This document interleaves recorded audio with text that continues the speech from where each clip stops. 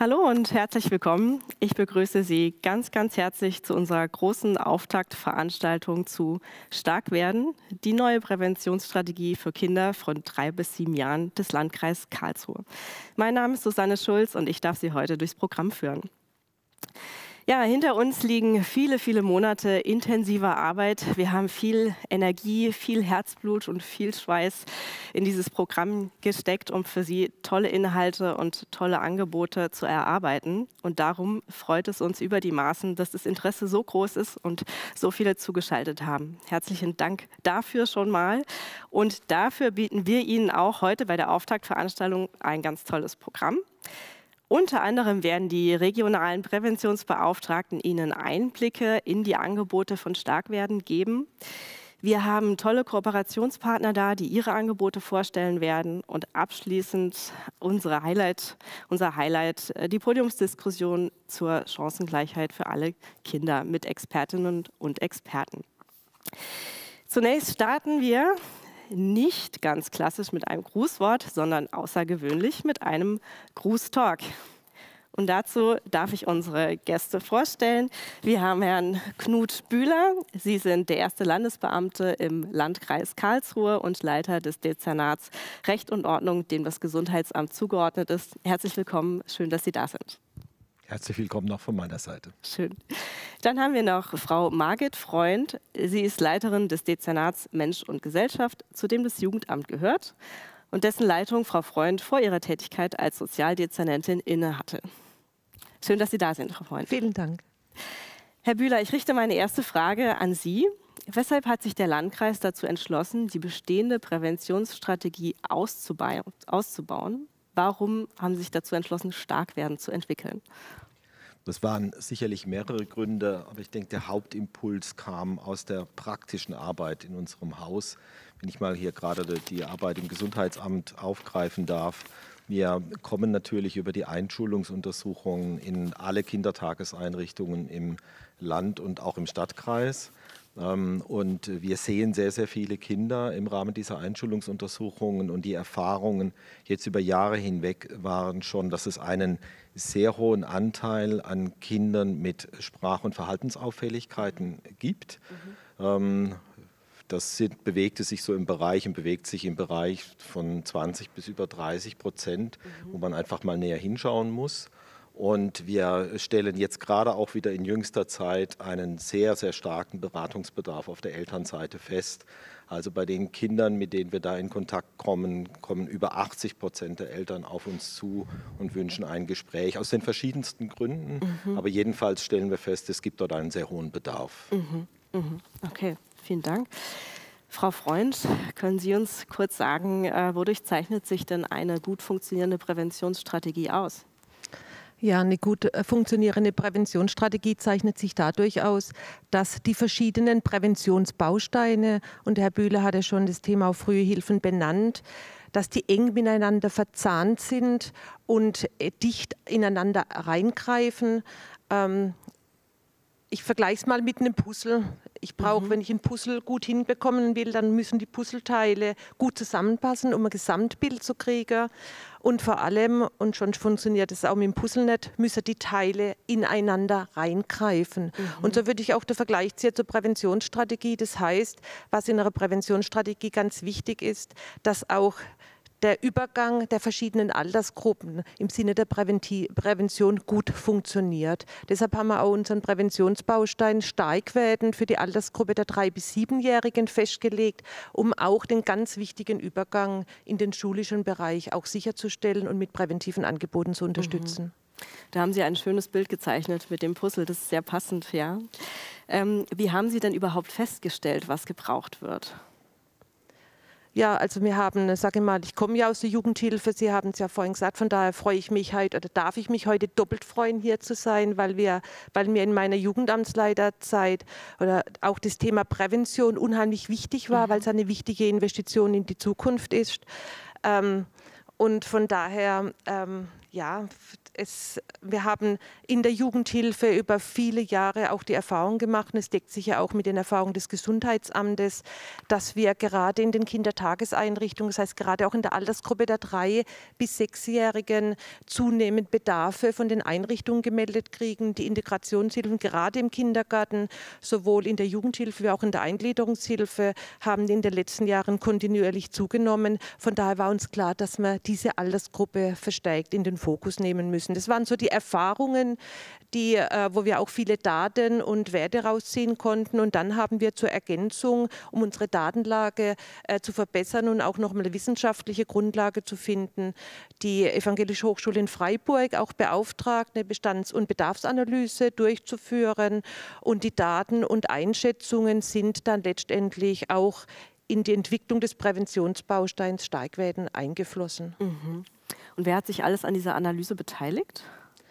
Also beteiligt haben sich insbesondere Mitarbeiterinnen und Mitarbeiter bzw. Fachkräfte aus den Kindertageseinrichtungen, den Kommunen und auch viele Elternvertreterinnen. Das war mhm. uns ganz wichtig, die Basis auch zu beteiligen, beziehungsweise auch die Betroffenen äh, zu beteiligen, um auch ein ehrliches Feedback beziehungsweise auch eine realistische Grundlage äh, zu bekommen. Und ich möchte einfach auch die Möglichkeit nutzen, mich an dieser Stelle bei den vielen, die sich an dieser Befragung äh, beteiligen, beteiligt haben, auch ganz recht herzlich zu bedanken, weil es für uns ganz wichtig war und eben dann auch die Ergebnisse gut in den Präventionsbaustein bzw. die Entwicklung einfließen konnten. Was für uns noch hilfreich war, und da möchte ich einen weiteren Dank aussprechen an unsere politischen Gremien, die uns auch befeuert haben in dem, was wir mhm. getan haben die uns auch das Personal zur Verfügung gestellt haben, sodass wir heute so aufgestellt sind, dass wir mit dem Präventionsbaustein, glaube ich, gut durchstarten können. Schön, dass Sie das nochmal hervorgehoben haben. Vielen Dank. Ähm, Herr Bühler, können Sie uns einen Ausblick geben, wie kann so eine Präventionsstrategie gelingen? Also man muss ja jetzt sehen, wir schließen an an die frühen Hilfen. Die frühen Hilfen ähm, natürlich aufgrund der Altersgruppe 0- bis 3-Jährige ähm, hat im Fokus zunächst mal eine Unterstützung für Familien. Mhm. Jetzt verschiebt sich dieser Fokus genauso wie die Lebenswelt der Kinder sich verschiebt. Wir äh, schauen jetzt verstärkt auf die Einrichtungen und ähm, Frau Freund hat ja schon die Bestands- und Bedarfsanalyse angesprochen. Da ist es ganz wichtig, auch auf den Bestand zu schauen. Wir haben natürlich schon viele Strukturen bei uns im Landkreis, die wir jetzt zur Unterstützung etwa der Einrichtungen und der Mitarbeiterinnen und Mitarbeiter dort einsetzen können. Ein, wesentlicher Teil dessen, was wir jetzt vorhaben, ist natürlich, das alles richtig zu vernetzen und an die richtige Stelle zu bringen. Mhm. Dafür natürlich nicht alles selbst zu machen als Landkreis, sondern viele Kooperationspartner mit an Bord mhm. zu haben. Das haben wir. Mhm. Deshalb sind wir da auch sehr zuversichtlich, ja, dass ähm, beginnend mit dem Dank jetzt auch wir wirklich durchstatten können in dem Bereich, dass wir uns da wirklich gut aufgestellt haben, um Angebote zu machen, die die Einrichtungen weiterbringen, die Mitarbeiter unterstützen und dann am Ende natürlich alles den Kindern zugutekommt, die eigentliche Fokusgruppe. Mhm, mh. Also Sie sind perfekt aufgestellt. Wunderbar. Ähm, möchten Sie vielleicht abschließend noch ein paar Worte an unsere Zuschauer und Zuschauerinnen sprechen oder vielleicht auch an das Team von Starkwerden?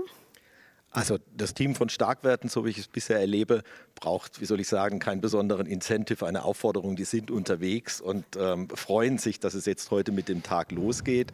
Und äh, an all die draußen an den Bildschirmen, an all die Interessierten, den, die kann ich nur auffordern und Sie bitten, warten Sie nicht, bis wir mit den Angeboten zu Ihnen kommen, das werden wir schon auch tun, ja, sondern äh, kommen Sie auch auf uns zu.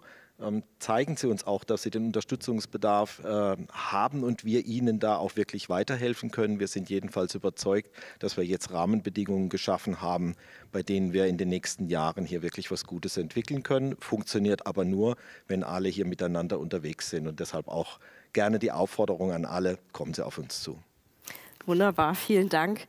Ich danke Ihnen beiden sehr für diesen Gruß-Talk. Mal kein Grußworte, sondern ein Gruß-Talk. Super. Vielen Dank, dass Sie da waren. Gerne. Danke. Ja, und als nächstes haben wir einen kleinen Film für Sie vorbereitet. Wir haben uns nämlich gefragt, wie können wir am besten vermitteln, welche Vision wir mit Starkwerden verfolgen. Was wollen wir damit erreichen? Was haben wir da alles eingebracht? Und das Team von Starkwerden hat sich überlegt, einen super tollen Film für Sie vorzubereiten. Und ich sage jetzt mal, Film ab.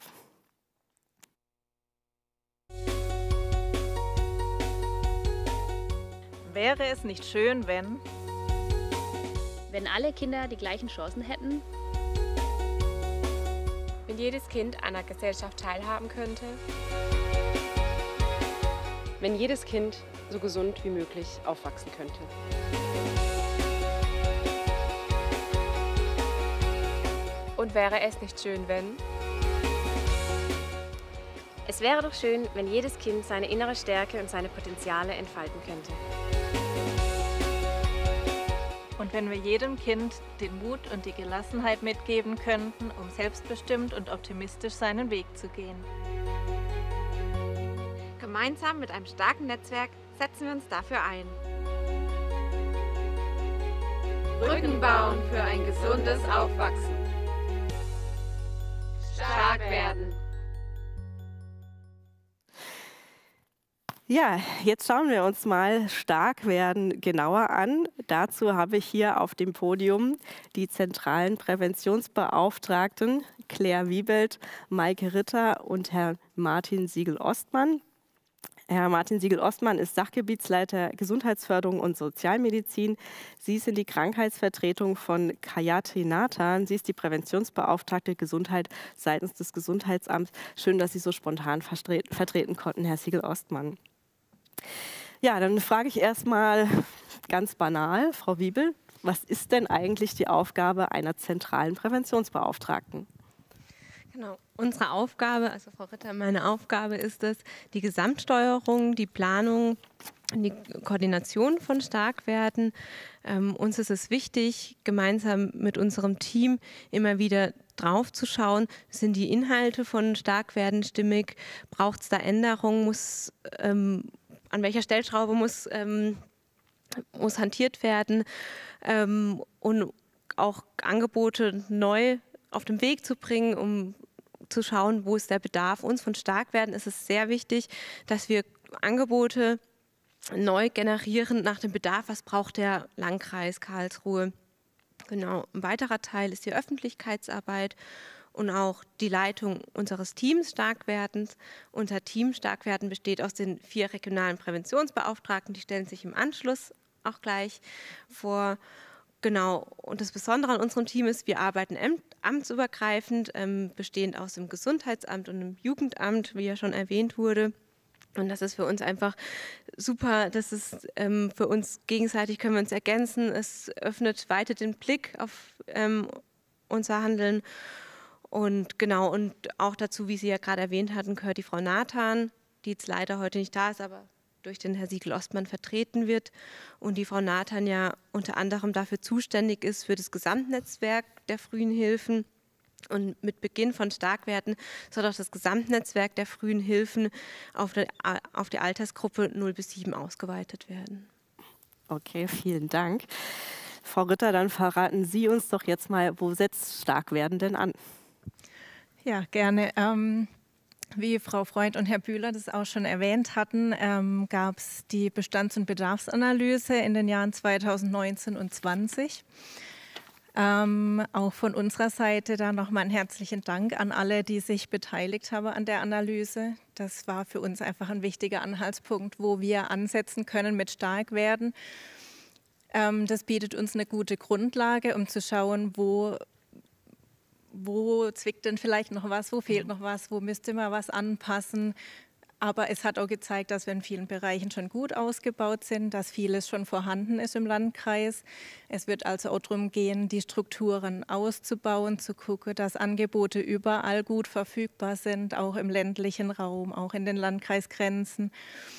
Ähm, äh, auch die Angebote transparent zu kriegen, also dass jeder recht schnell sehen kann, diese Angebote gibt es, der ist mein Ansprechpartner, wie, wie komme ich daran, ähm, dass man einfach die Wege kurz hält und so ähm, dafür sorgt, dass viele Menschen diese Angebote, diese gute Angebote in Anspruch nehmen können.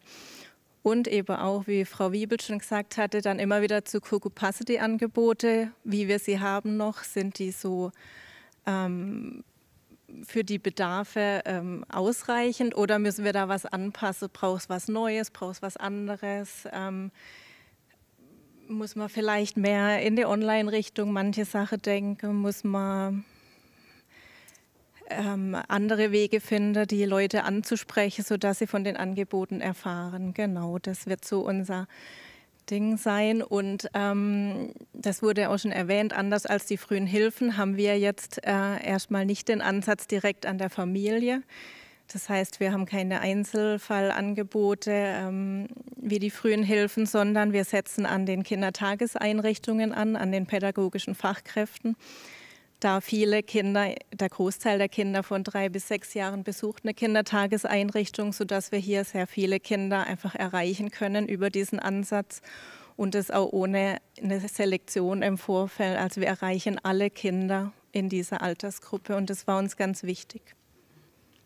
Ich greife mal ganz kurz ein Stichwort auf, ähm, das Thema Angebote bündeln. Um meinen ersten Hinweis zu geben, bitte schauen Sie doch auf die Webseite von Starkwerden. Da sind nämlich die Angebote total übersichtlich und anschaulich gebündelt. Die URL zur Webseite finden Sie unter dem YouTube-Livestream. Gut, Herr Siegel-Ostmann, dann habe ich auch noch eine Frage für Sie. Ähm, was ist denn das Ziel von Starkwerden? Ja, ich denke, das äh, dürfte auch schon mit dem äh, Visionsvideo hoffentlich auch transportiert worden sein.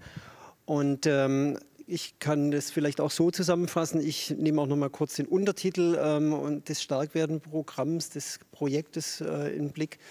Wir versuchen mit dem Ganzen ähm, auch Brücken zu bauen von Dingen, die wir schon haben und die wir jetzt neu entwickeln, um den Kindern am Ende ein gutes, gesundes Aufwachsen zu ermöglichen. Und das möchten wir wirklich für den gesamten Landkreis auch tun, damit alle Kinder gesund aufwachsen können. Und gesund verstehen wir da jetzt nicht im engeren Sinne ähm, frei von Krankheit alleine, sondern in dem breiten, allgemein sicher bekannten Verständnis auch, dass es hier um äh, eine körperliche, eine seelische und soziale Gesundheit im Sinne eines körperlich-seelisch-sozialen Wohlbefindens letztlich geht. Und das nicht zum Selbstzweck, sondern auch natürlich dafür, damit Kinder sich möglichst gut entwickeln können. Auch da kann man gesund und gut entwickeln, sicher auch ähm, identisch setzen. Und was wir versuchen, das ist das Ziel, dass wir Kitas jetzt in dem Fall vor allem unterstützen, damit sie dort die Kinder gesunde und gute Umgebungen erhalten, gesunde Lebenswelten auch ähm, vorfinden um sich bestmöglich zu entwickeln. Das versuchen wir zu unterstützen mit dem gesamten Konzept. Das klingt sehr gut, wunderbar. Vielen Dank an Sie drei für den ersten großen Überblick über Starkwerden. Jetzt gehen wir gleich noch ein Stück tiefer, indem die regionalen Präventionsbeauftragten äh, zu uns auf die Bühne kommen. Und dafür müssen wir eine ganz kurze Pause machen. Wir sind gleich wieder für Sie da. Ja, Sie sehen, wir haben ja kurz umdisponiert. Ich habe jetzt auf der Bühne die regionalen Präventionsbeauftragten. Diese Damen sind für Sie zuständig. Prägen Sie sich die Gesichter gut ein. Ich darf vorstellen Frau Maraya Dasono. Sie ist zuständig für die Raumschaften Ettlingen und Mittlerer Landkreis. Frau Anna Harlacher. Sie ist zuständig für die Raumschaft Pretten. Dann haben wir noch Frau Melek Sert. Sie ist zuständig für die Raumschaft Bruchsal und schließlich noch Julia Steinbach, zuständig für die Raumschaft Graben-Neudorf.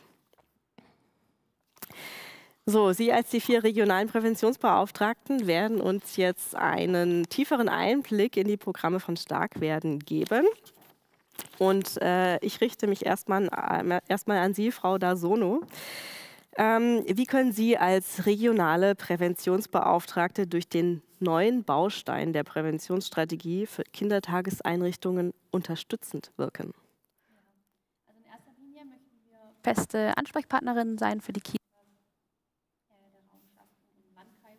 Das heißt, die individuelle Begleitung und Beratung steht erstmal im Vordergrund. Uns ist es dabei wichtig, dass wir einfach mit viel Zeit in die Kitas rausfahren und uns mal anschauen und mal richtig hinhören, ähm, was sind denn die Bedarfe in den Kitas.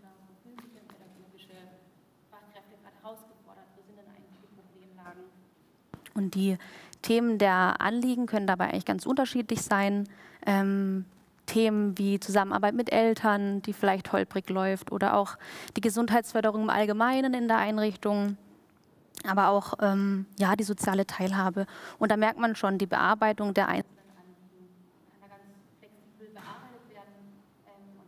ganz flexibel gestaltet werden und auch in, im zeitlichen Umfang unterschiedlich lang dauern. Ähm, und durch diese Begleitung und auch das Dranbleiben erhoffen wir uns einfach, dass wir da früh eingreifen können, früh Probleme auch wieder auflösen können, die vielleicht schon gleich am Anfang entstanden sind und aber auch über einen längeren Zeitraum begleiten, sodass die Nachhaltigkeit auch ähm, längerfristig gewährleistet ist. Zum anderen geht es aber auch darum, die Angebote, die es im Landkreis schon gibt, nochmal transparent zu machen, nochmal hinzugucken. Ähm, wir haben ganz viel, es kommen auch neue Angebote dazu, ähm, aber auch Kitas nochmal darauf hinzuweisen, das gibt es, das kann man nutzen, die Angebote miteinander zu verzahnen und insgesamt zu schauen, wie kriegen wir die Profession wieder näher zusammen, die Angebote besser miteinander verknüpft, dass einfach die Hilfewege verkürzt und vereinfacht werden können. Dann ist jetzt natürlich gleich meine nächste Frage. Wie kommen denn die Einrichtungen überhaupt mit Ihnen in Kontakt? Zum einen werden wir ab sofort rausfahren in die Kitas, ähm, vor Ort sein, uns persönlich vorstellen, aber auch ähm, telefonisch Kontakt erstmal aufnehmen. Andersrum geht es genauso. Kitas können sich per Mail oder per Telefon bei uns melden, da ihr Anliegen loswerden. Wir ordnen das erstmal grob ein und gucken, ähm, dass wir dann schnell den Termin anbieten können, vor Ort fahren können und dann einfach nochmal Einzelheiten im direkten Gespräch klären können. Deswegen auch nochmal die herzliche Einladung, sich auf unserer Homepage umzuschauen, nochmal ähm, zu schauen, in welcher Raumschaft ist denn eigentlich meine Kita ähm, und welche äh, Präventionsbeauftragte ähm, ist für uns zuständig. Okay, vielen Dank. Sie haben jetzt schon einige Angebote angeteasert. Jetzt schauen wir uns die mal noch ein bisschen konkreter an. Frau Steinbach, ähm, es gibt unter anderem Online-Veranstaltungen, Organisationsentwicklung und bedarfsorientierte Fortbildungen. Ähm, Stichwort äh, Online-Formate. Warum haben Sie sich dazu entschieden, Online-Formate anzubieten? Ja, in unseren Überlegungen war einfach auch nochmal verankert, dass die oft sehr knappen zeitlichen Ressourcen für pädagogische Fachkräfte eine wesentliche Rolle spielen, um auch ähm, Fortbildungsangebote in Anspruch zu nehmen. Und dabei entstand auch die Idee, dahingehend eine entsprechende Lücke zu schließen, nämlich dann Fachveranstaltungen auch im Online-Format anzubieten. Der Vorteil besteht einfach darin, dass Fachkräfte sich ähm, ja, ihren persönlichen Fortbildungswünschen nochmal ähm, ja, näher äußern können. Sie können nochmal einen Blick drauf werfen, was brauche ich denn aktuell an Wissen ähm, und können sich dann entsprechend ähm, über unsere Plattform anmelden, ein Online-Angebot raussuchen und ähm, ja, im Idealfall natürlich auch dieses Fachwissen, was vermittelt wurde, entsprechend ähm, als Impuls weitertragen in die Kita oder auch als Multiplikatorin dann auch dienen. Mhm. Und was muss jetzt eine pädagogische Fachkraft ganz konkret tun, damit sie sich zu so einer Online-Veranstaltung oder zu so einem Format anmelden kann? Da kann ich auch nochmal den Hinweis auf unsere Homepage einfach geben, dass es dort immer aktuelle ähm, Veranstaltungshinweise gibt. Die Handhabung der Anmeldung erfolgt ganz einfach. Ähm, man äh, klickt auf die entsprechende Veranstaltung, meldet sich in der Anmeldemaske an mit seinem Namen und den Kontaktdaten und im weiteren Verlauf wird einfach die ähm, weitere Informationen zu der Fachveranstaltung bzw. auch die Zugangsdaten entsprechend versendet. Okay, das klingt wirklich einfach zu handeln. Ich hoffe, es wird gut angenommen. Ich bin gespannt. Ähm, Frau Harlacher, kommen wir zur Organisationsentwicklung. Ähm, beschreiben Sie uns doch bitte mal ganz konkret, was ist die Organisationsentwicklung überhaupt? Mhm. Die Organisationsentwicklung, wie der Name eigentlich schon sagt, so ziemlich unser umfassendstes Angebot, das wir haben. Ähm, es ist eine Weiterentwicklung zur gesundheitsförderlichen Institution, die mittels Inhouse-Schulungen und einer kontinuierlichen Prozessbegleitung durch uns, die regionalen Präventionsbeauftragten, durchgeführt wird. Äh, es ist eigentlich so, dass die pädagogischen Fachkräfte dabei als Experten ihrer eigenen Einrichtung mit eingebunden werden in den Prozess, als ganz wichtige Experten ihrer eigenen Einrichtung und die jeweiligen Bedarfe und Bedürfnisse der Kita in diesem Prozess dann auch im Vordergrund stehen. Hm. Und welches Ziel verfolgen Sie dabei? Unser Ziel ist, ähm, die pädagogischen Fachkräfte auf dem Weg hin zur gesundheitsförderlichen Einrichtung zu begleiten und zu unterstützen. Und äh, hierzu setzen wir ganz besonders an den Stärken der Kita an und gehen auf die spezifischen Bedarfe der Kita ein, unterstützen das Team ähm, auch in der konkreten Umsetzung. Okay. Klingt super. Wie lange dauert sowas dann jetzt? Genau, äh, es ist sehr umfassend, wie schon gesagt. Also es ist in der Regel ein 18-monatiger Prozess, mhm. äh, in dem wir die Kita begleiten. 18 Monate, okay. Und ähm, in diesen 18 Monaten, welche Module werden da angeboten? Was kann man da alles machen? Der Organisationsentwicklungsprozess äh, umfasst insgesamt sechs ähm, Weiterbildungsmodule. Die vier Basismodule und das Abschlussmodul sind dabei verbindlich und wir haben auch vier Wahlmodule, wo sich jede Kita ein Wahlmodul, je nachdem, wo die Bedürfnisse und Bedarfe liegen, aussuchen kann. Okay, vielen Dank für die detaillierte Darstellung.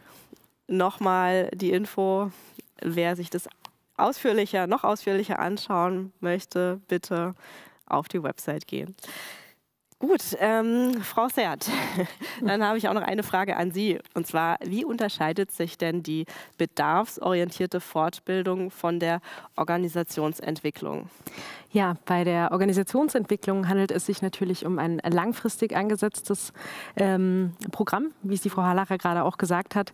Die äh, bedarfsorientierten Fortbildungen hingegen ähm, werden als Halb- bzw. Ganztagesformat angeboten, sind somit eigentlich zeitlich stark verkürzter und ähm, thematisch sind da auch natürlich Unterschiede vorhanden. Okay. Und äh, jetzt verraten Sie uns mal noch, was kann man sich denn genau darunter vorstellen unter einer bedarfsorientierten Fortbildung? Ja, also wenn die pädagogischen Fachkräfte hier im äh, Landkreis Fortbildungsbedarf eben zu bestimmten Gesundheitsthemen feststellen können, diese sich eben an uns, an die regionalen Präventionsbeauftragten vor Ort äh, wenden. Wir erfassen dann gemeinsam auch mit dem Kita-Team zusammen den spezifischen Bedarf und bieten äh, den Kitas damit eben ein abgestimmtes Fortbildungsprogramm an. Das Themenspektrum liegt dabei natürlich äh, bei der Gesundheitsförderung und Prävention. Ja, so kann eben das Kita-Team Gesundheitsthemen äh, in der Bildungseinrichtung etablieren und bisherige Kenntnisse erweitern und auch vertiefen. Ja. Aber dazu, also ähm, ich will jetzt thematisch gar nicht so stark einsteigen. Wir haben ja eben ähm, Kooperationspartner heute auch eingeladen, die ähm, da natürlich auch die Themen vorstellen. Da will ich natürlich nicht ähm, alles vorwegnehmen. Eine wunderbare Überleitung. Vielen Dank. Vielen Dank an Sie vier. Ähm, schauen Sie sich die Damen noch mal genau an. Das sind Ihre regionalen Präventionsbeauftragten. Nehmen Sie Kontakt auf. Die Damen brennen darauf, äh, Sie beraten zu dürfen und Sie unterstützen zu dürfen. Vielen Dank an Sie vier. Ähm, und hier haben wir schon die tolle Überleitung bekommen, denn wir werden jetzt äh, Kooperationspartner vorstellen. Dazu muss ich leider sagen, dass Frau Stalter von Echt dabei heute leider nicht dabei ist, da sie krank ist. Aber wir werden als nächstes den Herrn Christian Bikowski auf der Bühne haben von der AOK. Er ist Themenfeldmanager im Bereich Gesundheitsförderung in Lebenswelten bei der AOK Mittlerer Oberrhein. Er hat uns ähm, einige PowerPoint-Folien mitgebracht, die wir hier gleich zeigen. Und dafür müssen wir noch mal kurz die Bühne umräumen. Von daher noch mal eine ganz kurze Pause und wir sind dann gleich wieder da. Ja, hallo, Christian Bikowski hier von der AOK. Ich darf mich ganz kurz vorstellen oder ich wurde schon vorgestellt. Wir sind, wie ich es vorhin von vorhin aufgreifen darf, ein Puzzleteil dieses Ganzen. Und da freuen wir uns auch. Ähm, wir sind auch in vielerlei Hinsicht auch schon unterwegs gewesen, haben eine Zusammenarbeit gehabt, sei es eine bewegte Apotheke, Bewegungspass in der kommunalen Gesundheitskonferenz und jetzt auch hier. Und da freuen wir uns auch ganz besonders, helfen zu dürfen oder auch unseren Teil beizutragen, dass es ein erfolgreiches Projekt wird. Ganz kurz möchte ich nur ähm, sagen, wir haben ja auch einen Präventionsauftrag als Krankenkasse, als Gesundheitskasse und haben 550 Gesundheitsförderer in ganz Baden-Württemberg, die sich mit dem Thema Gesundheitsförderung ähm, beschäftigen. Und deswegen ist es uns auch ein riesengroßes Anliegen, da auch Unterstützung leisten zu können und zu dürfen und freuen uns da nochmal, da vielen Dank nochmal, dass wir da die Möglichkeit haben, Sie da zu unterstützen. Und ich möchte auch gar nicht lange drauf eingehen. Schopenhauer hat es schon gesagt, also Gesundheit ist nicht alles, aber ohne Gesundheit ist alles nichts. Und das ist auch unser Auftrag, dem wir nachgehen gerne und auch die Unterstützung geben. Und ähm, es ist einfach ein ganz, ganz wichtiger Punkt für uns als Präventionspersonen oder Gesundheitsförderer. Wir haben den Auftrag oder wir haben das, äh, das Modul sozusagen der Erzieherinnengesundheit oder besser gesagt der, der Gesundheit der pädagogischen Fachkräfte und wollen dem auch nachgehen und tun das auch schon seit Jahrzehnten, kann man sagen. Also ich bin aus dem, komme aus dem betrieblichen Gesundheitsmanagement. Wir sind in hunderten von Firmen unterwegs gewesen, in sehr, sehr vielen Kitas auch unterwegs gewesen, auch mit Jolinchen Kids, was ich nachher kurz äh, erwähnen werde. Ähm, und da haben wir natürlich auch unseren strukturellen Aufbau, in dem wir auch gerne unterstützen, in die Einrichtungen reingehen, schauen, woran liegt es, ähm, was, was können Sie denn gebrauchen und einen individuellen Ansatz, da unsere Unterstützungsmöglichkeiten Ihnen zukommen lassen. Da habe ich auch ein paar Beispiele für Sie. Sei es, wir, machen, wir haben die Möglichkeit, bei Ihnen eine Analyse zu machen, eines Gesundheitsberichtes, dass wir schauen, woran lag es eigentlich? Warum, was ist denn, was ist die größte Baustelle? Äh, diagnosebezogen sozusagen. Wenn wir da die Möglichkeit haben, dann machen wir das gerne. Ähm, wir haben auch digitale Angebote, vielleicht äh, ist da was zutreffend, machen wir auch ganz gerne. Äh, sei es ein Barcamp oder sei es auch mal ein digitaler Kochkurs ähm, oder auch eine Vortragsreihe, was wir auch ähm, gerne anbieten wollen. Ernährungsthemen sind für uns ganz wichtig, sind auch immer nachgefragt. Und ähm, Bewegungsthemen und die psychische Gesundheit und alles rund ums Thema Schlaf seit neuestem. Da sind wir unsere Stärken, da wollen wir auch unterstützen in Ihrer Einrichtung ähm, und sind da gerne bereit, individuell dann nochmal ins Gespräch zu gehen, bei Ihnen vorbeizukommen und zu sagen, ah ja, okay, so sieht es aus, machen die Ist-Analyse mit Ihnen noch ähm, für diese gesundheitsbezogenen Dinge und führen oder helfen ihnen dann und entwickeln dann natürlich auch einen Plan, ähm, was wir dann anbieten und werden das auch dementsprechend organisieren für sie.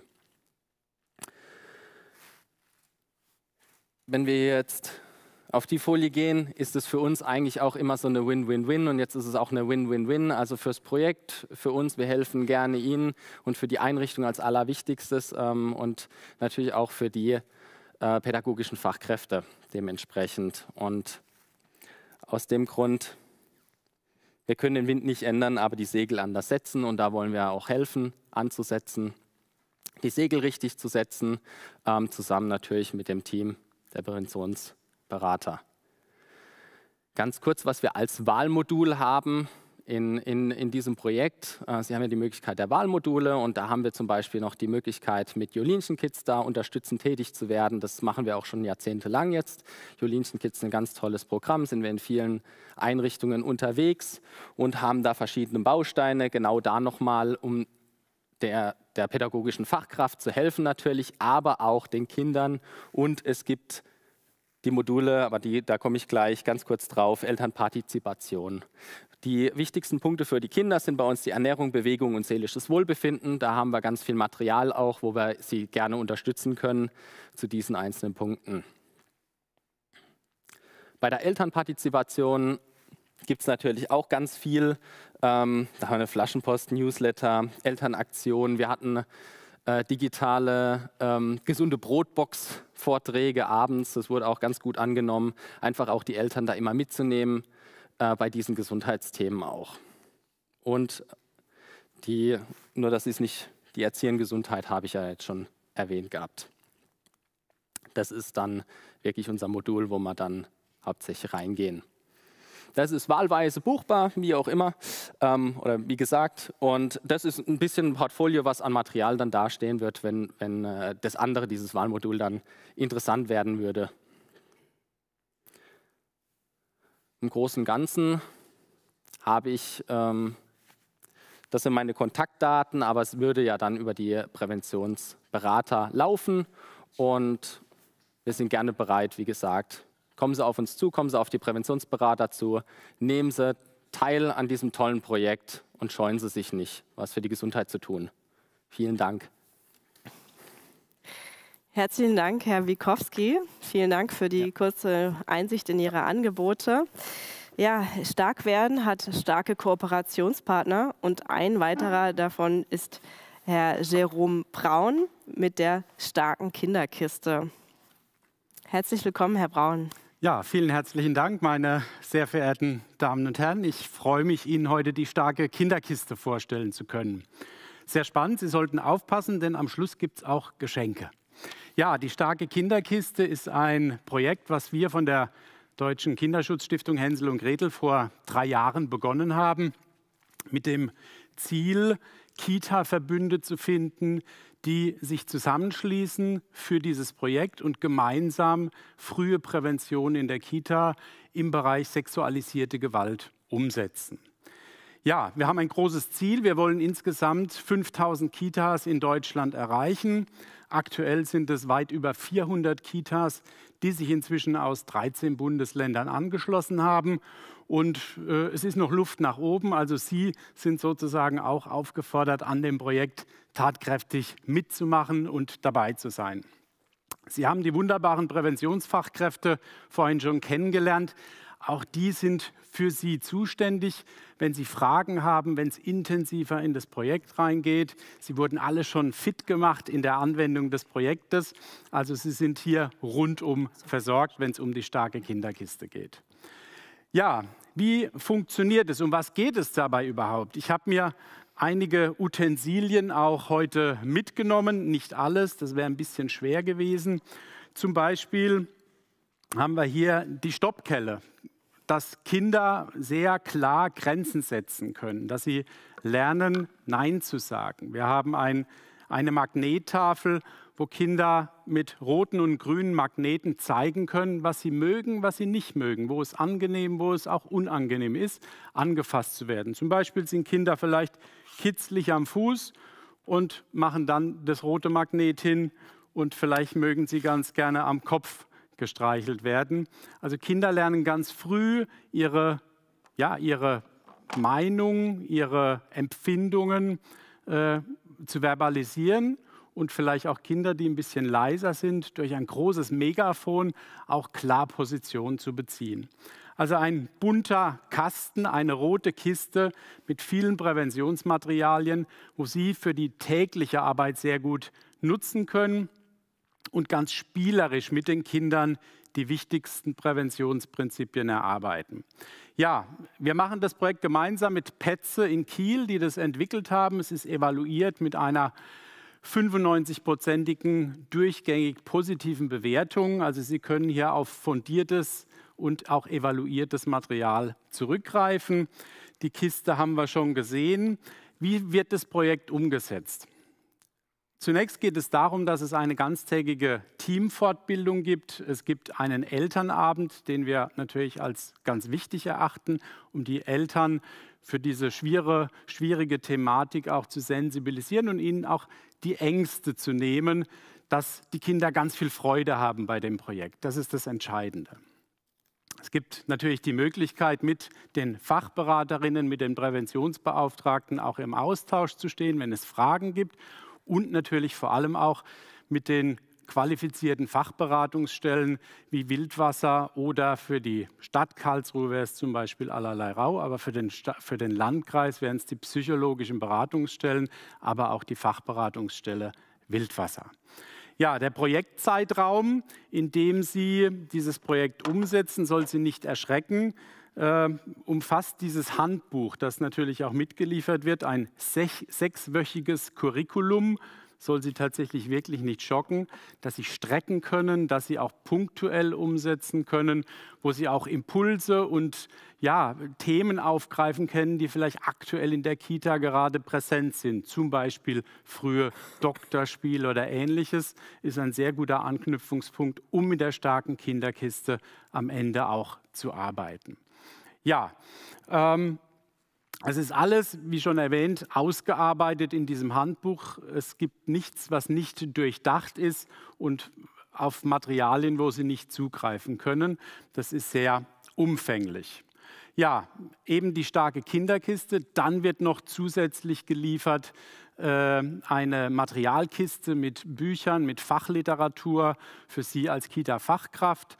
Und es wird äh, zusätzlich auch das Minibuch mitgeliefert. Zu jeder Kiste werden 500 dieser kleinen Minibücher mit der Begleitgeschichte zu dem Projekt mit Katze Kim, die durch das Projekt führt, äh, mitgeliefert, dass jedes Kind auch am Ende dieses Curriculums dieses Heftchen mit nach Hause nehmen kann und als schöne Lektüre zum Vorlesen sehr gut geeignet ist. Kitas bekommen eine Urkunde, wenn sie mitgemacht haben, wenn sie engagiert sind und so weiter.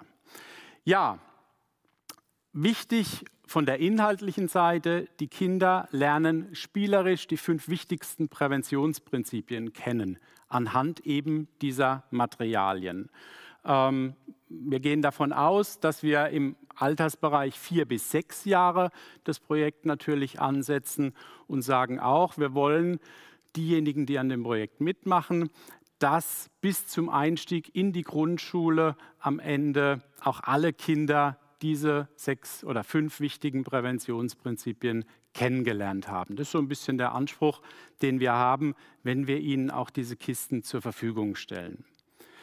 Ja, die konkrete Arbeit sieht dann zum Beispiel so aus. Also Sie sehen, die Kinder malen Bilder auf, beschäftigen sich mit Katzengesichtern, um zum Beispiel auch zu zeigen, welches Gefühl habe ich aktuell? Bin ich traurig? Bin ich wütend? Bin ich vielleicht etwas ja, fröhlich? All diese Dinge äh, lernen Kinder gemeinsam mit Katze Kim.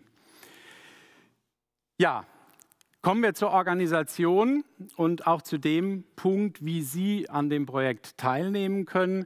Wir suchen drei bis fünf Kitas, die sich zu einem sogenannten Kita-Verbund zusammenschließen und die starke Kinderkiste umsetzen.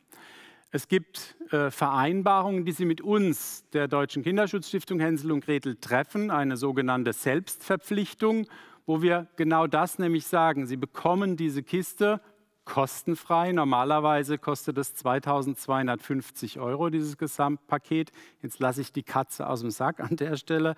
Und wir haben im Moment jetzt ein Kontingent für den Landkreis zur Verfügung gestellt von zehn starken Kinderkisten. Das heißt, ab sofort können Sie sich bewerben und an diesem Programm teilnehmen und eben auch diese 2250 Euro sparen für die kompletten Materialien, weil wir einfach Sponsorpartner dafür gefunden haben und wir als Stiftung das zur Verfügung stellen. Trotzdem müssten Sie eine Selbstverpflichtung, ein Bewerbungsformular ausfüllen über starkekinderkiste.de, über die Webseite sehr einfach downloadbar, aber ich nehme an, auch über die Präventionsfachkräfte, die haben diese Materialien auch vorliegen, äh, können diese auch nochmal abgefragt werden. Wenn nicht, kriegen diese nach der Sendung heute sofort zur Verfügung gestellt. Ja, die Kitas erhalten dann tatsächlich durch eine qualifizierte Fachberatungsstelle eine Fortbildung. Da erwarten wir einen kleinen Eigenanteil dann doch, der zu finanzieren ist, aber das klären Sie auch, äh, wie das im Landkreis funktioniert. Da kommen wir aber auch gleich noch mal drauf zu sprechen. Ja, Sie erhalten auch noch einen Warengutschein, wenn mal vielleicht das ein oder andere kaputt geht, um Material nachzubestellen. Also es ist an alles gedacht. Ja, in der Kommunikation, das ist uns dann natürlich auch wichtig, es ist eben ein Projekt, was Petze Kiel entwickelt hat und wo wir in Kooperation umsetzen, also ein Projekt der Deutschen Kinderschutzstiftung Hänsel und Gretel, eben gemeinsam mit dem Petze-Institut. Ja, viele Vorteile, ich glaube, die würde ich jetzt doppelt und dreifach erzählen, äh, die dieses Projekt mitbringt. Äh, ganz sicher ist es für Sie wichtig, Sie haben einen einfachen, einen niedrigschwelligen, einen leichten Zugang zu einer doch sehr schwierigen, wenn nicht der schwierigsten Thematik auch im Kita-Umfeld sexualisierte Gewalt in dieser frühen Phase, in dieser ersten Sozialisationsinstanz außerhalb des Elternhauses ist ein sehr sensibles Thema. Und diese Materialien helfen Ihnen, mit Freude, mit Spaß, gemeinsam mit den Kindern auf Entdeckungsreise des Körpers und der Empfindungen der Kinder zu gehen und ja, eben die Thematik sexualisierte Gewalt mit den Kindern letztlich verbal überhaupt nicht mehr thematisieren zu müssen, sondern sie greifen an den Stärken, an der Resilienz, an den guten Themen an, um die Kinder hier einfach ganz mit Freude mitzunehmen. Ja, an der Stelle dann noch kurz, wie es hier konkret für Sie in Ihren Raum umzusetzen ist. Zum einen Wie eben vorgestellt, haben Sie ab sofort jetzt die Möglichkeit, sich bei uns über die starke Kinderkiste.de zu bewerben und die Kiste anzufordern dann den direkten Draht aufzunehmen mit der Fachberatungsstelle Wildwasser, die für Sie dann mit Ihnen gemeinsam eine Schulung organisiert, wo Sie in die Umsetzung und in die Thematik intensiv eingeführt werden. Da besprechen Sie auch, ob ein Elternabend gegebenenfalls unter Beteiligung der Fachberatungsstelle stattfinden soll oder ob Sie als Kita-Fachkraft das alleine machen. Dann wir sind ja nicht ganz neu mit dem Projekt. Es ist schon vielfach umgesetzt über unser Leihmodell. Das funktioniert weiterhin. Über die psychologische Beratungsstelle haben wir aktuell drei Leihkisten im Einsatz. Das heißt, wenn Sie vielleicht auch erstmal probieren, testen wollen und schnuppern wollen ähm, und vielleicht auch nicht diesen großen Kita-Verbund zusammenbekommen, sondern als einzelne Kita vielleicht auch äh, nur dieses Projekt umsetzen wollen, dann können Sie sich an Thomas Horch von der Psychologischen Beratungsstelle des Landkreises wenden. Der ist dafür zuständig, dann mit Ihnen die Leihthematik ebenfalls natürlich kostenfrei zu besprechen. Also beides möglich, eigene Kiste oder Leihmodell. Jetzt äh, müssen Sie sich ein bisschen damit auseinandersetzen und schauen, was für Sie am besten passt. Ich sage an der Stelle herzlichen Dank für die Aufmerksamkeit, hoffe, dass Sie schnell und vor allem die ganzen zehn Kisten, äh, starken Kinderkisten abfordern, mitmachen und für die frühe Prävention äh, ja, das Bestmögliche tun. Vielen herzlichen Dank und äh, weiterhin eine gute Veranstaltung. Ja, Sie haben es gehört, Herr Braun hat ein ganz tolles Angebot mitgebracht. Es gibt zehn starke Kinderkisten, also bewerben Sie sich darum. So, wir werden jetzt gleich eine zehnminütige Pause machen. Davor nochmal mein Hinweis. Als nächstes kommt ja unsere Podiumsdiskussion zum Thema Chancengleichheit für alle Kinder. Nutzen Sie Menti, um Ihre Fragen zu stellen. Wir sammeln die während der Diskussion und lesen diese am Ende vor, die dann von unseren Experten und Expertinnen beantwortet werden. Der Link dazu müsste unter dem Livestream stehen. Also, Zehn Minuten Pause. Ich freue mich auf Sie. Bis gleich. So, ich begrüße Sie zurück aus der Pause. Ich hoffe, Sie sind alle gestärkt zurück an den Bildschirmen. Wie versprochen gibt es jetzt unsere große Podiumsdiskussion mit unseren Experten und Expertinnen zum Thema Chancengleichheit für alle Kinder. Ich darf begrüßen Frau Mirja Kinunen. Sie sind die Abteilungsleiterin Planung und Prävention im Jugendamt. Sabine Pfitzenmeier. Sie sind die pädagogische Fachberatung des Trägervereins Schneckenhaus Bretten. Dominik Henk, der Sachgebietsleiter Schul- und Kindertagesstättenuntersuchungen im Gesundheitsamt. Und dann darf ich auch noch begrüßen Frau Dr. Julia Steiger-Engel. Sie ist die Studiengangskoordinatorin Pädagogik der Kindheit an der Pädagogischen Hochschule Karlsruhe. Herzlich willkommen, schön, dass Sie alle hier sind. Ja, Chancengleichheit für alle Kinder, das klingt erstmal gut, doch wie kann dieses Ziel erreicht werden? Wir wünschen uns, dass jedes Kind unabhängig von seiner Herkunft, unabhängig von dem sozialen Status seiner Familie, unabhängig von Geschlecht, unabhängig von kulturellen und ethnischen Hintergrund, dass jedes Kind unabhängig von diesen Dingen die besten Startbedingungen im Leben bekommen. Sie sollen optimale Entwicklungsmöglichkeiten erhalten, um ihre Potenziale voll entfalten zu können. Denn gleiche Startbedingungen von Kindern bedeuten auch gleiche Chancen in der Zukunft. Doch wie können wir diese sicherstellen?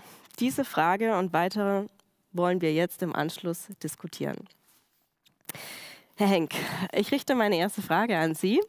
Welche Veränderungen sind im Bereich der Einschulungsuntersuchungen in den letzten Jahren zu beobachten, sowohl positiv als auch negativ?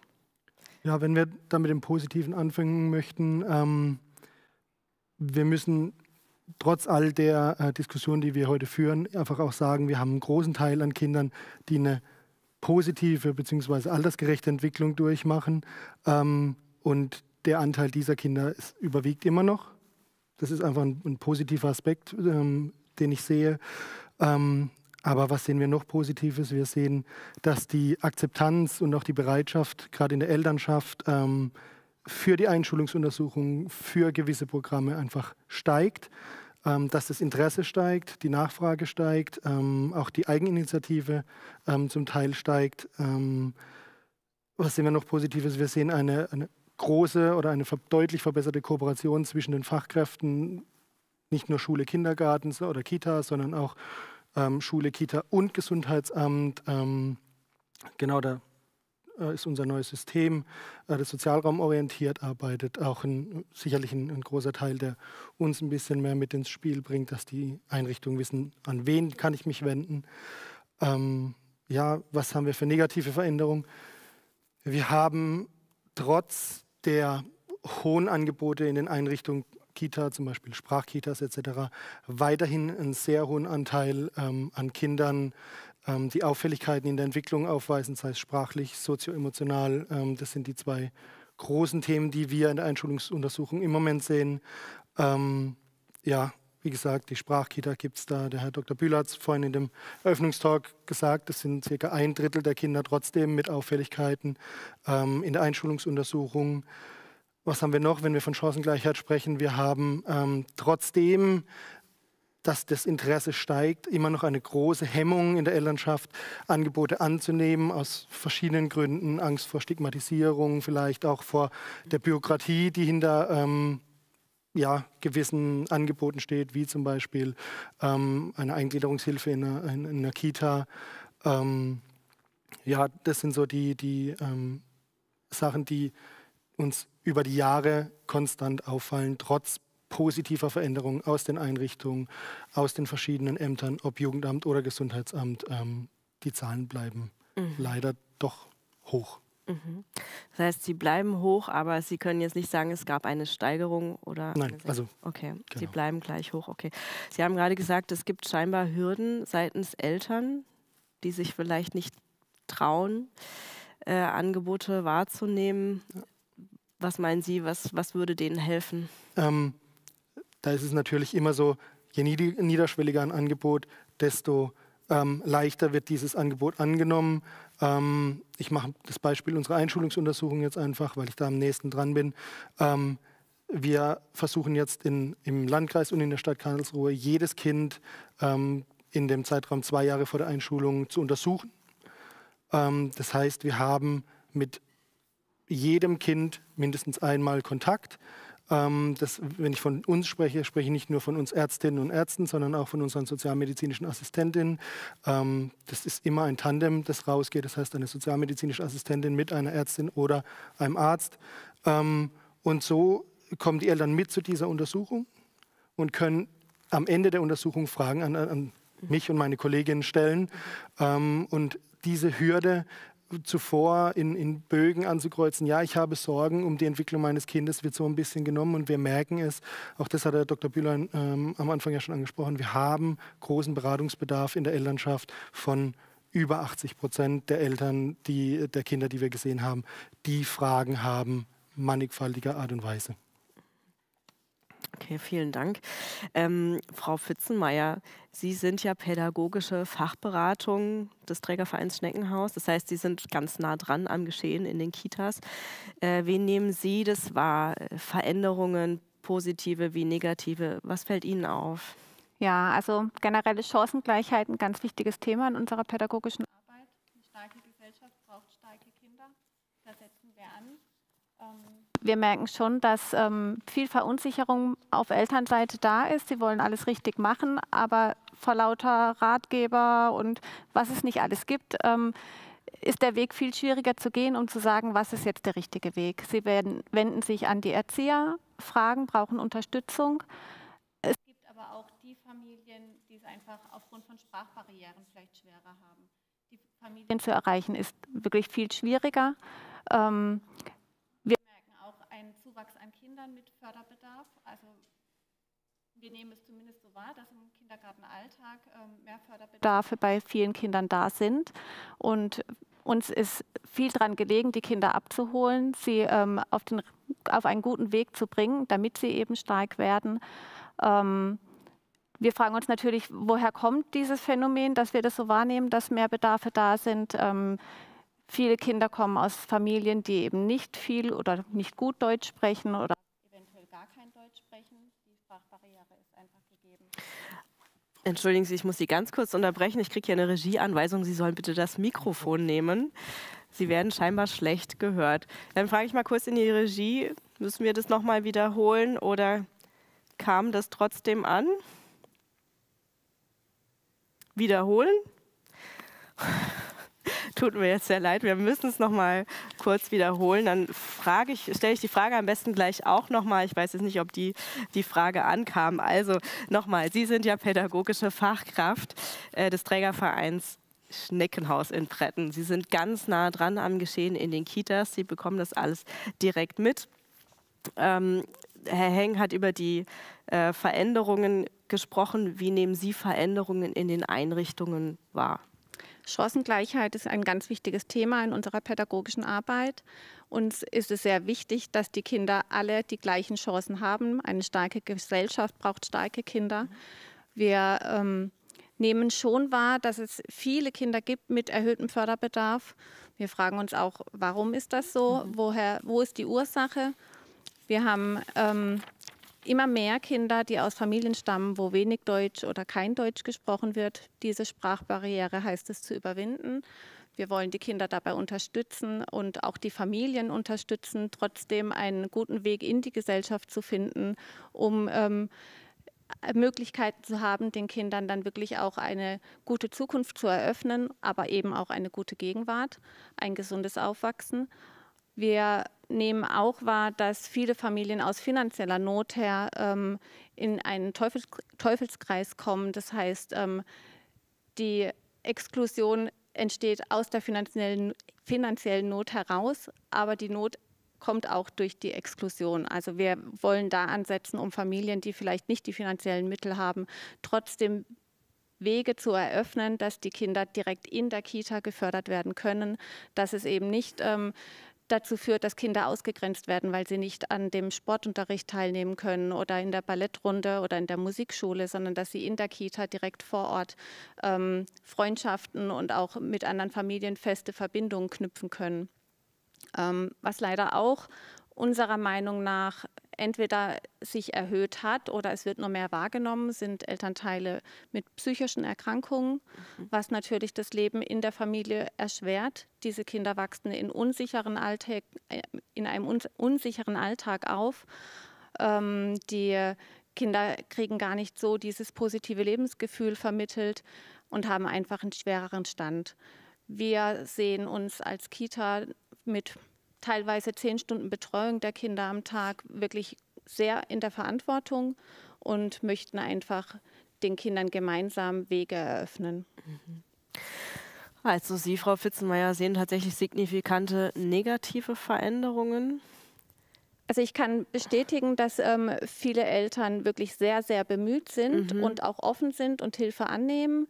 Es gibt natürlich auch Ängste, die mhm. wir mithelfen abzubauen.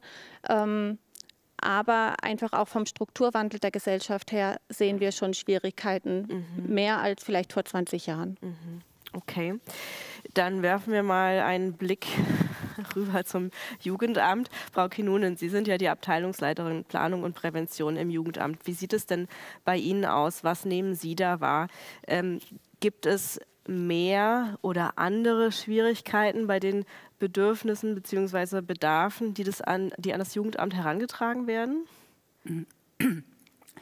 Zunächst mal vielleicht vorausgeschickt, wir sind ja als äh, Jugendamt des Landkreises nicht selbst Kita-Träger, ähm, stehen aber den Einrichtungen sowohl in kommunaler als auch ähm, freier Trägerschaft ähm, als Fachberatung zur Verfügung. Ähm, und äh, das, was da bei uns ankommt, äh, sind natürlich häufig, äh, dass es keine Plätze gibt. Und das ist ja schon mal ein Ausschluss von Teilhabe, weil die Kita ist ein wichtiger Betreuungs- und Bildungsort. Ähm, und wenn ich keinen Platz bekomme, dann ist es schon mal schwierig mit Teilhabe und Förderung in der Kindertageseinrichtung. Ähm, deswegen unterstützen wir auch die Landkreiskommunen in der Kita-Bedarfsplanung, also im weiteren Ausbau, aber natürlich auch in der qualitativen Weiterentwicklung. Ähm, das eine Thema eben, wie gesagt, ich kriege gar nicht erst einen Platz und da muss man auch sagen, die von Frau Fitzenmeier angesprochenen Familien, die sprachliche Barrieren haben oder sonst wie äh, in schwierigen ähm, Verhältnissen leben, die haben es dann auch noch mal schwerer, häufig einen Platz zu bekommen, weil die fitten, gut informierten Eltern, äh, die sind dann da schon ähm, schneller ähm, dabei. Das ist so ein Thema. Ähm, das andere, ich meine, das ist ja das, äh, woraus stark werden auch dann letztlich ähm, entwickelt wurde und entstanden ist, war ja eben diese schon öfter benannte Bedarfsanalyse und Bestandsanalyse, wo eben äh, bestätigt wurde, dass eben ähm, Kinder mit herausforderndem Verhalten in den Kitas äh, tatsächlich eine riesen Herausforderung für die ähm, pädagogischen Fachkräfte darstellen. Und ähm, da die Einrichtungen zu stärken und die Fachkräfte zu stärken und die Familien zu unterstützen, ähm, das ist ja genau der ähm, sind ja genau die Ziele unserer neuen Präventionsstrategie stark werden. Ich fand es gerade ganz spannend, dass Sie den Punkt genannt haben, äh, wir kriegen ja gar keinen mhm. Kita-Platz, dass das tatsächlich schon ein ganz großer, wichtiger Punkt ist. Ähm, da darf ich ganz kurz einen persönlichen Einblick von mir geben. Ich habe selbst einen kleinen Sohn in der Kita und wir hatten Riesenglück und sind heilfroh, dass wir eine tolle mhm. Kita haben. Aber ich erlebe das auch, ganz viele Eltern, die fast schon verzweifelt sind, weil sie nicht wissen, wie geht es weiter, kriegen wir einen Kita-Platz. Ja. Toll, dass Sie es erwähnt haben.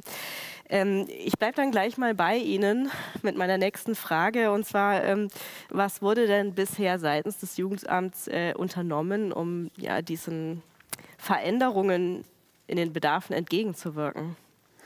Es gibt ja schon langjährige, äh, vielfältige präventive Angebote, die sich sowohl an Kitas als auch an die Familien und die Kinder richten. Ähm, wurde ja vorhin auch schon erwähnt, dass die frühen Hilfen, die ja schon seit Mitte der Nullerjahre äh, bestehen, ähm, eben die Familien im Blick haben, also eher die Einzelfallhilfe.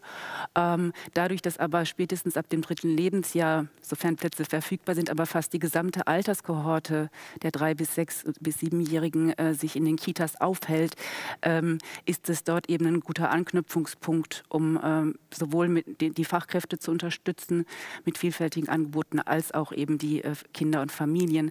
Ähm, das sind eben, wie gesagt, einmal die äh, Angebote der frühen Hilfen, niederschwellig auch vor Ort in den Sozialräumen, in den Quartieren, mit ähm, Eltern-Kind-Gruppen, mit äh, Vortragsangeboten, mit ähm, auch Familienbesuchen. Dann haben wir natürlich die ähm, psychologischen Beratungsstellen, äh, die teils auch Sprechstunden vor Ort in den Kitas Kitas anbieten, aber auch Fachvorträge.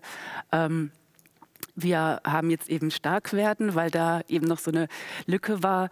Ähm, genau, und es gibt vielfältige Angebote, aber wenn ich nochmal auf die Metapher von der Frau Freund vorhin zurückkomme mit den Puzzleteilen, dann ist es häufig eben so, dass die Puzzleteile vielleicht verstreut irgendwo liegen, aber nicht diese ähm, und diese Lotsenfunktion, die ja jetzt die ähm, regionalen Zentra ähm, ähm, Präventionsbeauftragten haben, deren Lotsenfunktion ist es eben, diese unterschiedlichen Puzzleteile so zu ordnen, dass sie schön ineinander greifen und dass die Angebote auch bekannt sind. Weil ich kann viele Angebote machen, nur wenn sie nicht bekannt sind, dann werden sie eben auch nicht in dem Ausmaß genutzt, wie sie vielleicht äh, notwendig wären und eben entsprechend ähm, die Familien, Fachkräfte und Einrichtungen auch auch stärken und unterstützen können in ihrer Arbeit.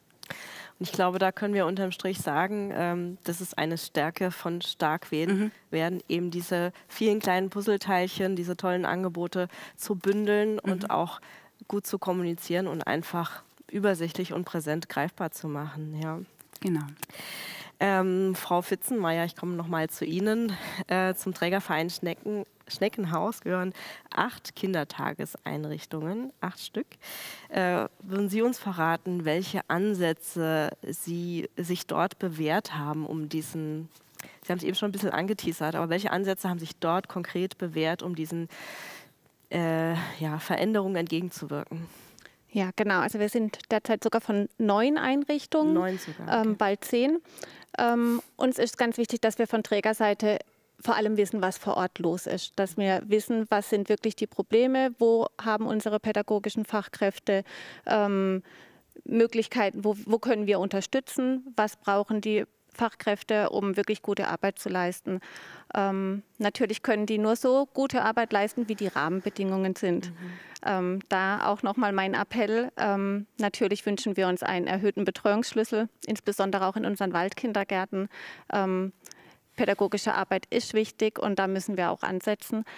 unsere ähm, Erfahrungen sind, dass niederschwellige Angebote einfach von allen angenommen werden können. Wir möchten ähm, keine künstlich initiierten Bildungsprozesse, sondern wir wollen den Alltag der Kinder so gestalten, dass jedes Kind die Möglichkeit hat, seine Interessen auszuleben. Jedes Kind ist intrinsisch motiviert und bringt so viel mit und hat seine eigenen Fragen. Und unsere Aufgabe ist, diese Fragen zu erkennen, aufzugreifen und das Kind auch zu befähigen, sich seine Fragen selbst zu beantworten. Das heißt, wir wollen die Kinder zu fähigen Mitgliedern der Gesellschaft machen, die sich selbst auf den Weg machen können, die ihre eigenen ähm, ihre eigene Motivation nutzen und jedes Kind bringt ganz wertvolle Sachen mit. Also wir wollen den Kindern vermitteln, sie sind ein wichtiger Teil der Gesellschaft und auch die ganzen Familien und die Eltern. Also unsere Angebote, die wir machen wollen, sollen auch ehrliche Einladungen an alle sein. Nicht an einzeln rausgepickte, die stigmatisiert sind, sondern wirklich für alle. Und jeder, der sich an diesem Thema interessiert, soll Teilhabe mhm. haben können. Ja? Ähm, wir wollen den Alltag so gestalten, dass er wertvoll für alle ist, egal mit welcher Voraussetzung diese Person kommt. Ähm, wir holen jeden da ab, wo er steht. Und ich glaube, dass das ein ganz wichtiger Ansatz ist, auch von Starkwerden eben dieses, man muss nicht extra woanders hin, sondern mhm. es sind ja alle in der Kita da. Mhm. Und der Alltag von vielen Familien ist eh schon stressig genug. Wenn die noch einen extra Termin wahrnehmen mhm. müssen, das ist oftmals nicht leistbar, selbst wenn die Eltern es wollten und auch für notwendig ähm, halten würden. Ähm, aber ja, der Kita-Alltag mit zehn Stunden für ein Kind ähm, bietet nicht viel Raum für außenrum. Es mhm. sollte in der Kita geschehen. Mhm.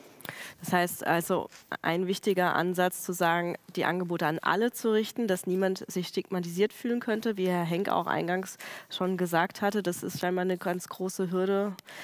Ähm, und zum anderen in der Tageseinrichtung das Angebot äh, zu geben. Ich glaube, da sind wir dann mit Starkwerden auf dem richtigen Weg. Sehr schön. Ähm, Frau Steiger-Engel, wie passt sich denn die Ausbildung von Fachkräften an die Veränderungen an, um diesen nachhaltig entgegenwirken zu können? Also ich spreche ja für die akademische Ausbildung, das muss ich sagen, weil wir ähm, eine größere Flexibilität tatsächlich haben. Wir sind nicht an Lehrpläne gebunden, wir haben mhm. Curricula, die akkreditiert werden und die ohnehin äh, in allen Studiengängen auch alle Jahre ähm, wieder überprüft werden. Und im Rahmen dieser Reakkreditierungen wird ohnehin immer geschaut, passt das, was hier gelehrt wird, noch ähm, zu dem Feld, in das die Studierenden einmünden. Für die Kindheitspädagogik ähm, sehe ich äh, da einen ganz äh, entscheidenden Faktor darin, dass die Studiengänge ja äh, junge Studiengänge sind, ja, verhältnismäßig jung. Also die ersten sind 2004 ins Leben gerufen worden in dieser Form und ähm, es hat sich die Disziplin der Kindheitspädagogik in einem ganz schön beachtlichen Tempo entwickelt. Und ich sehe schon auch, ich bin jetzt äh, seit ähm, 2013 an der Pädagogischen Hochschule schon etwas länger im Feld auch unterwegs und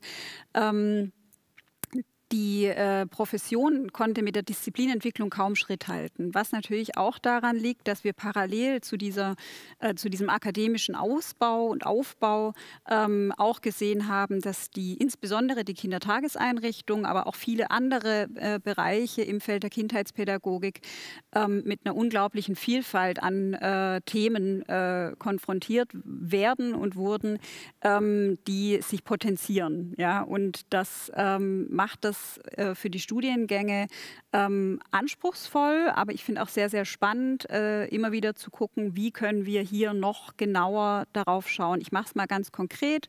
An der Pädagogischen Hochschule in Karlsruhe hatten wir äh, das Curriculum äh, jetzt vor zwei Jahren nochmal angepasst, weil wir gesehen haben, die Studierenden ähm, münden äh, in unterschiedliche Arbeitsfelder ein.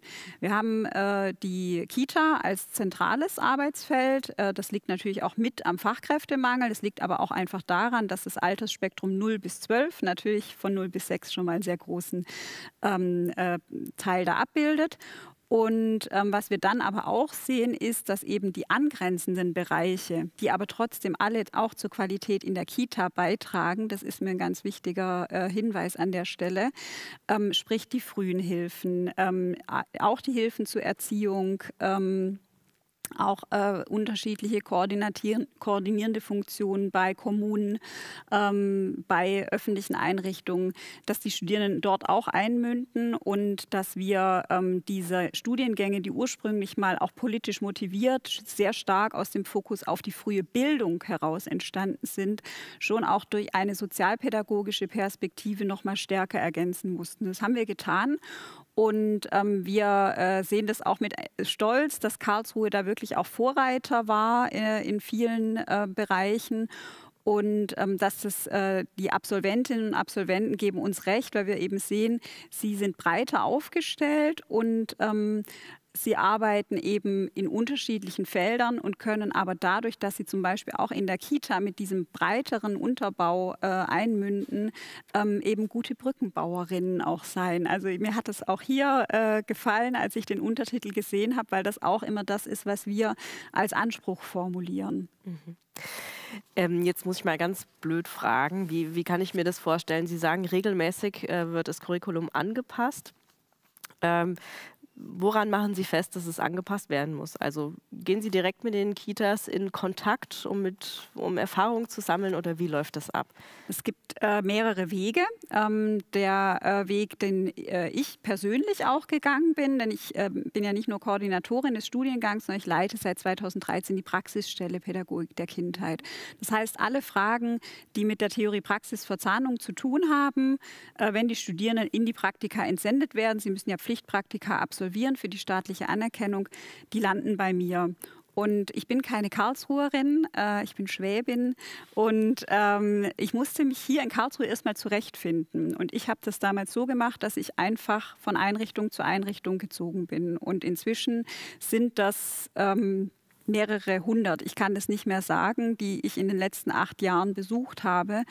Und ähm, das hat meine, meine persönliche Haltung ganz stark geprägt, aber es gibt eben auch diese, das, was sozusagen aus der Empirie des beruflichen Alltags da entsteht, ja, aus Gesprächen mit Praxismentorinnen, mit Praxismentoren, aus ähm, Gesprächen mit Fachkräften, die zu uns an die Hochschule kommen, weil sie Weiterbildung besuchen, aus Gesprächen mit Erzieherinnen, die bei uns studieren, weil sie noch weitermachen möchten. Da, da setzt sich so ein Mosaik zusammen aus Themen und das ist das eine, was wir aufgreifen. Das ist sozusagen der erfahrungsgeleitete Teil.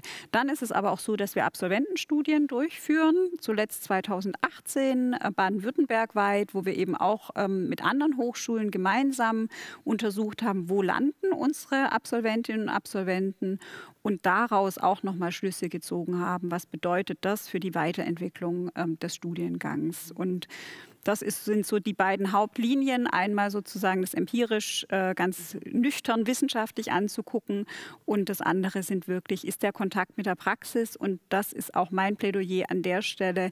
Ohne das geht es in pädagogischen Studiengängen nicht, unter gar keinen Umständen. Okay, vielen Dank für die Ausführung.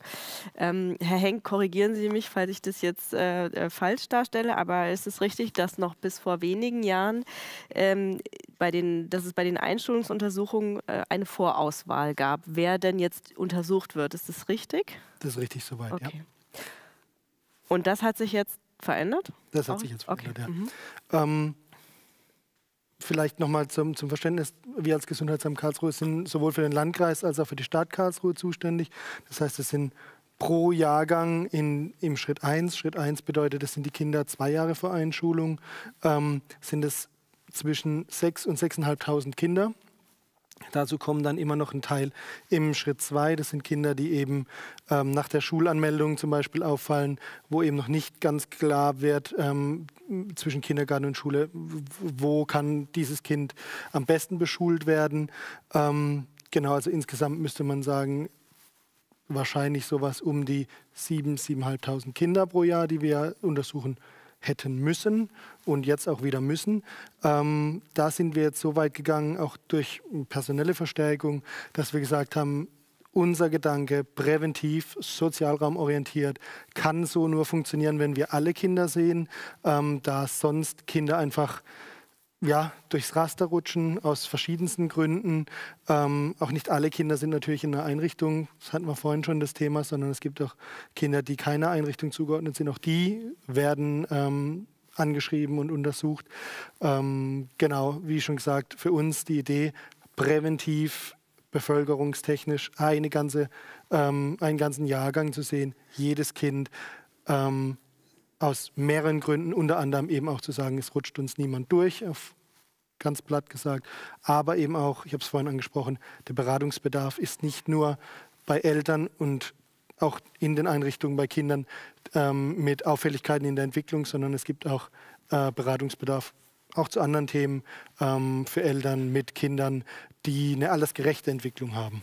Mhm. Und genau die Chance wollen wir den Eltern geben. Ich habe es vorhin gesagt, dieses Niederschwellige, eben dann doch in der Situation eine Frage stellen zu können und nicht in der Vorauswahl sagen zu müssen, ähm, ja, ich mache mir Sorgen. Mhm. Das heißt, unterm Strich sehen Sie das als positiv an, eine generelle Untersuchung zu machen? Definitiv. Also mal davon abgesehen, dass es auch ähm, im, im, Schulgesetz und im Gesetz des öffentlichen Gesundheitsdienstes so verankert ist, dass der Schritt 1 eine, eine Pflichtuntersuchung ist, ähm, ist es für uns einfach wichtig zu sagen, ähm, der präventive Ansatz, wir möchten ähm, primäre Prävention betreiben, wir möchten ähm, vielleicht auch da schon leiten können als, als Ärztinnen und Ärzte ähm, zu den Kollegen, zu anderen äh, äh, Stellen, Frühförderung etc.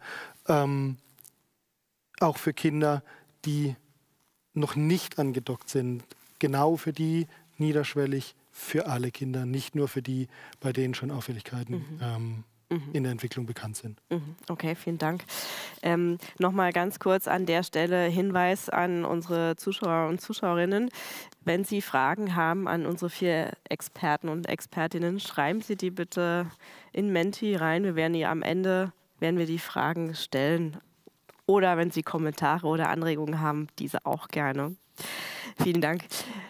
Frau Kinunen, ich richte mich nochmal an Sie. Ähm, das Präventionsprogramm von Starkwerden sieht ja explizit keine Einzelfallhilfen wie Hausbesuche oder äh, einzelne Elternberatung vor, sondern das Programm richtet sich an die Kita an sich, an die Fachkräfte. Ähm, warum hat das Landratsamt Karlsruhe sich genau dafür entschieden? Wie ich ja vorhin schon erwähnt hatte, ähm, sind nun mal eben ab spätestens ab dem dritten Lebensjahr auch äh, fast alle Kinder in der Kita, bis auf wenige Ausnahmen. Ähm, und äh, damit haben wir natürlich eine sehr große Erreichbarkeit, was die Kinder betrifft.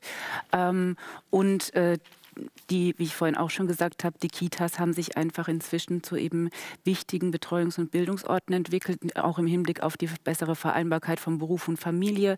Ähm, ähm, die, die, Kindertageseinrichtung ist ein wahnsinnig dynamisches Feld. In den letzten 10, 15 Jahren wurde ja nicht nur massiv der quantitative Ausbau betrieben, sondern auch die Angebote wurden bedarfsgerechter gestaltet, mehr Ganztagsplätze, ähm, qualitative Weiterentwicklung und dennoch Dennoch ähm, zeigen mehrere Studien, dass sich deutsche Kindertageseinrichtungen eher im Mittelmaß, was Qualität ähm, betrifft, äh, bewegen, wie die zum Beispiel eine ganz große Studie, die Nubeck-Studie, äh, gezeigt hat. Und ähm, das heißt aber nicht, dass die Fachkräfte nicht in der Lage wären oder sich nicht äh, bemühen würden, sondern äh, es findet ganz viel Entwicklung statt. Aber da sehen wir einfach noch einen großen auch ähm, Unterstützungs- und Beratungsbedarf, um die Kitas noch besser zu machen vor Ort.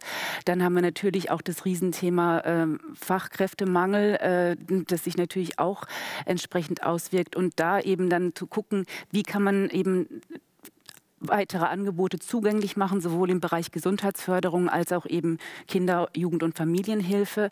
Ähm, deswegen möchten wir da ansetzen und eben auch vor Ort sein, dort, wo die ähm, Familien sich aufhalten, wo die Fachkräfte sich aufhalten ähm, und dort eben unsere Unterstützungsleistungen vorhalten. Mhm. Ähm, Sie hatten eben ja auch mal erwähnt, auch der äh, zeitliche Faktor ist wichtig, ne? dass die Eltern neben dem ganzen äh, äh, ihrem Alltag und ihrem Beruf auch wenig Zeit dazu haben, im Anschluss an die Kita nochmal irgendwo hinzugehen mhm. und Beratungen aufzusuchen. Ja. Mhm. Ähm, Frau Steiger-Engel, äh, in der Pädagogik der Kindheit gibt es eine wachsende Akademisierung, wie Sie es eben auch schon mal erwähnt haben. Äh, und damit soll eben auch der Kita-Bereich gestärkt werden. Ist es dann tatsächlich auch so, dass dementsprechend deutlich mehr Studienabsolventen der Kindheitspädagogik dann auch wirklich in Kitas arbeiten und dort auch bleiben? Also die Herausforderung ist, dass ähm, Zuerst beantworte ich die Frage für Baden-Württemberg, die letzte Frage, äh, ob Sie dort äh, landen und ob Sie dort bleiben. Also ganz konkretes mit Zahlen zu benennen. In der Absolventenstudie ähm, des Hochschulnetzwerks Bildung und Erziehung in der Kindheit, wo eben alle baden-württembergischen Hochschulen mit kindheitspädagogischen Studiengängen sich beteiligt haben, haben wir gesehen, dass die erste Berufstätigkeit nach dem Bachelorabschluss ähm, für 82 Prozent in der äh, Kindertageseinrichtung äh, lag. Ähm, wir haben dann aber auch gesehen, das war natürlich dann eine kleinere Kohorte, weil viele noch nicht so lange fertig waren. Äh, für die zweite Berufstätigkeit nach dem Bachelorabschluss sind es dann eben nur noch 62 Prozent in der Kindertageseinrichtung.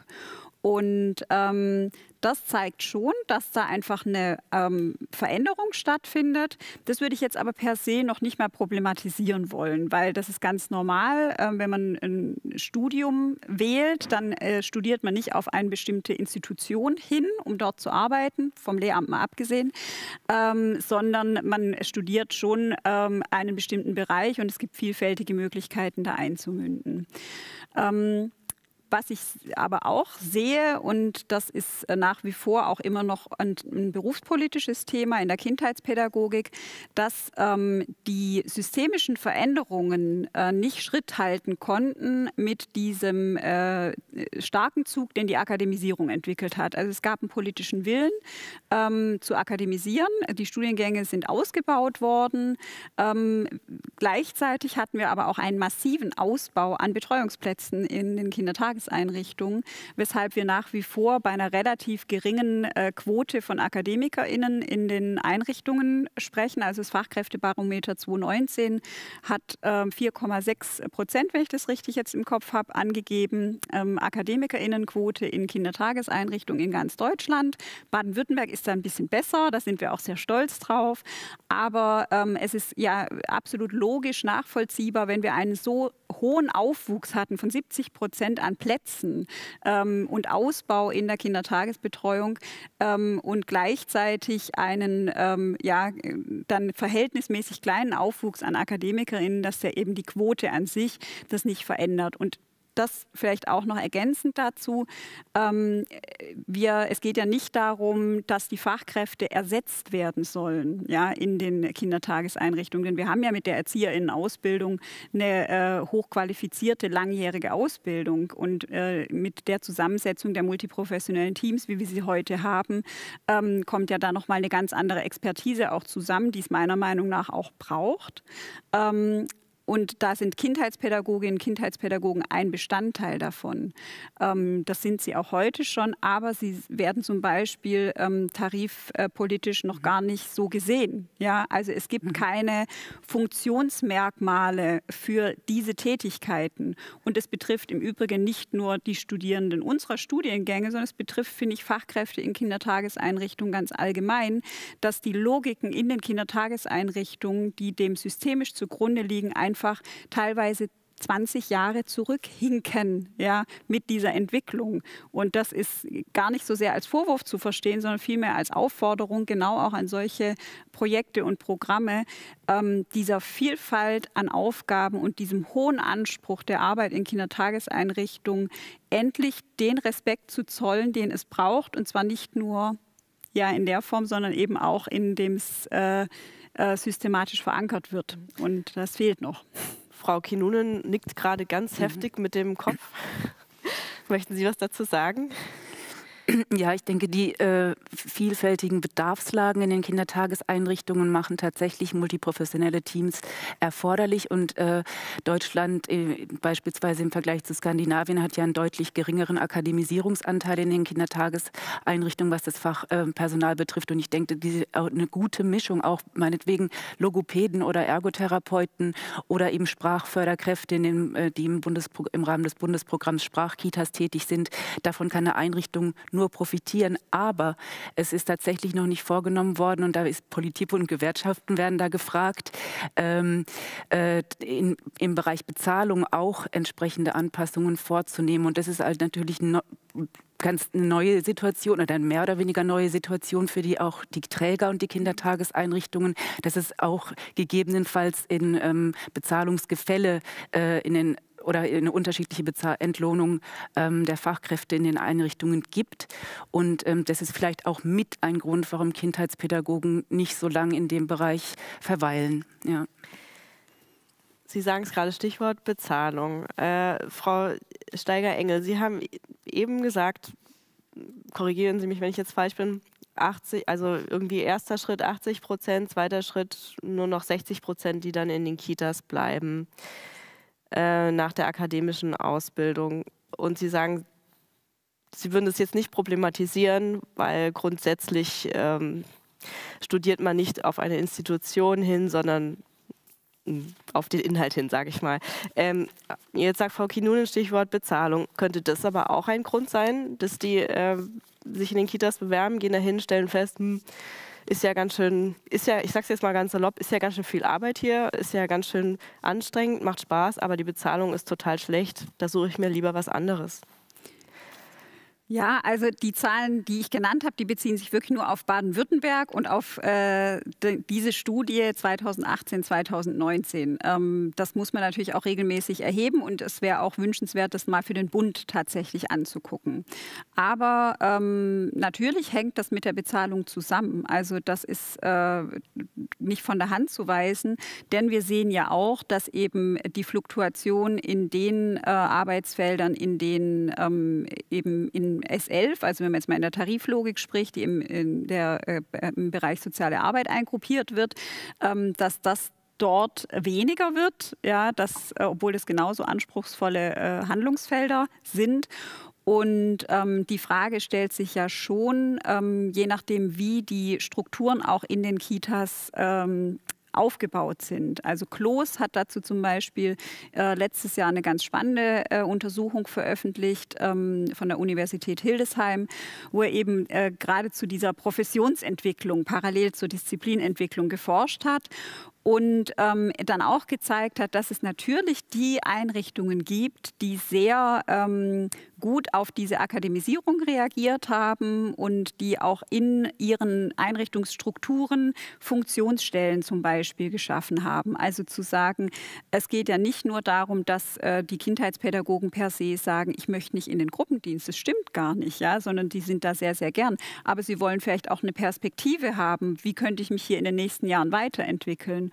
Und das ist in eher tra traditionell strukturierenden Kindertageseinrichtungen tatsächlich, die fehlt dort ein Stück weit die Perspektive. Das ist ein Punkt und das hat diese Studie eben auch gezeigt. Ähm, es braucht Personalentwicklungsaussichten in Kindertageseinrichtungen, nicht nur für die AkademikerInnen im Übrigen.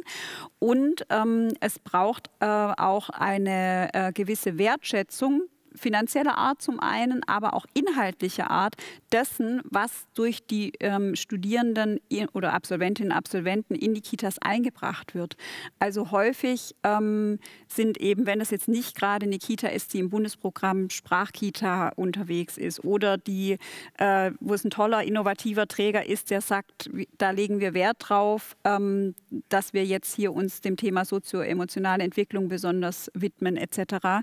Ähm, wenn das fehlt, dann ähm, fehlt dann natürlich auch der Ansporn zu sagen, das, was ich jetzt im Studium gelernt habe, äh, kann ich hier auch zum Einsatz bringen. Und dann äh, ja, fehlt natürlich auch die Motivation irgendwann und dann steht der Wechsel an. Und das muss man ja sagen, die Möglichkeiten sind natürlich im Moment gerade aufgrund des Fachkräftemangels sehr, sehr gut. Dann auch zu sagen, ähm, hier äh, werde ich nicht so gesehen, wie ich äh, eigentlich gesehen werden möchte oder kann, hier kann ich nicht ganz das so einbringen, was ich kann, dann äh, suche ich mir einen Ort, an dem ich das kann. Also mhm. das hängt für mich zusammen. Mhm. Frau Pfitzenmeier, was sagen Sie dazu? Ja, also in erster Linie würde ich sagen, Wertschätzung war genau das, mhm. der richtige Punkt. Es geht um die finanzielle Wertschätzung, aber vor allem auch um die Wertschätzung in der Gesellschaft. Ähm, jetzt gerade mal auf Corona zurückzukommen. Ähm, wenn ich jetzt anschaue, wenn es irgendwelche neue Beschlüsse gab, waren Schulen immer erwähnt, die Kita entweder gar nicht oder irgendwann sehr spät. Mhm. Ähm, auch das macht was mit uns Erzieherinnen. Ähm, die Wertschätzung in der Gesellschaft nimmt zu, also nehmen wir schon so wahr. Mhm. Ähm, wir finden bei uns in den Einrichtungen es sehr wichtig, dass ähm, jeder sich mit seinem Können einbringt, dass kein Gegeneinander ist, sondern ein voneinander profitieren. Auch die Einrichtungen untereinander sind gut vernetzt und profitieren voneinander und bringen sich gegenseitig weiter. Wir denken aber auch, ähm, dass multiprofessionelle Teams viel mehr gefördert werden müssten. Da würden die Kinder unheimlich von profitieren können. Darf ich kurz einhaken? Multiprofessionelle Teams, was bedeutet das?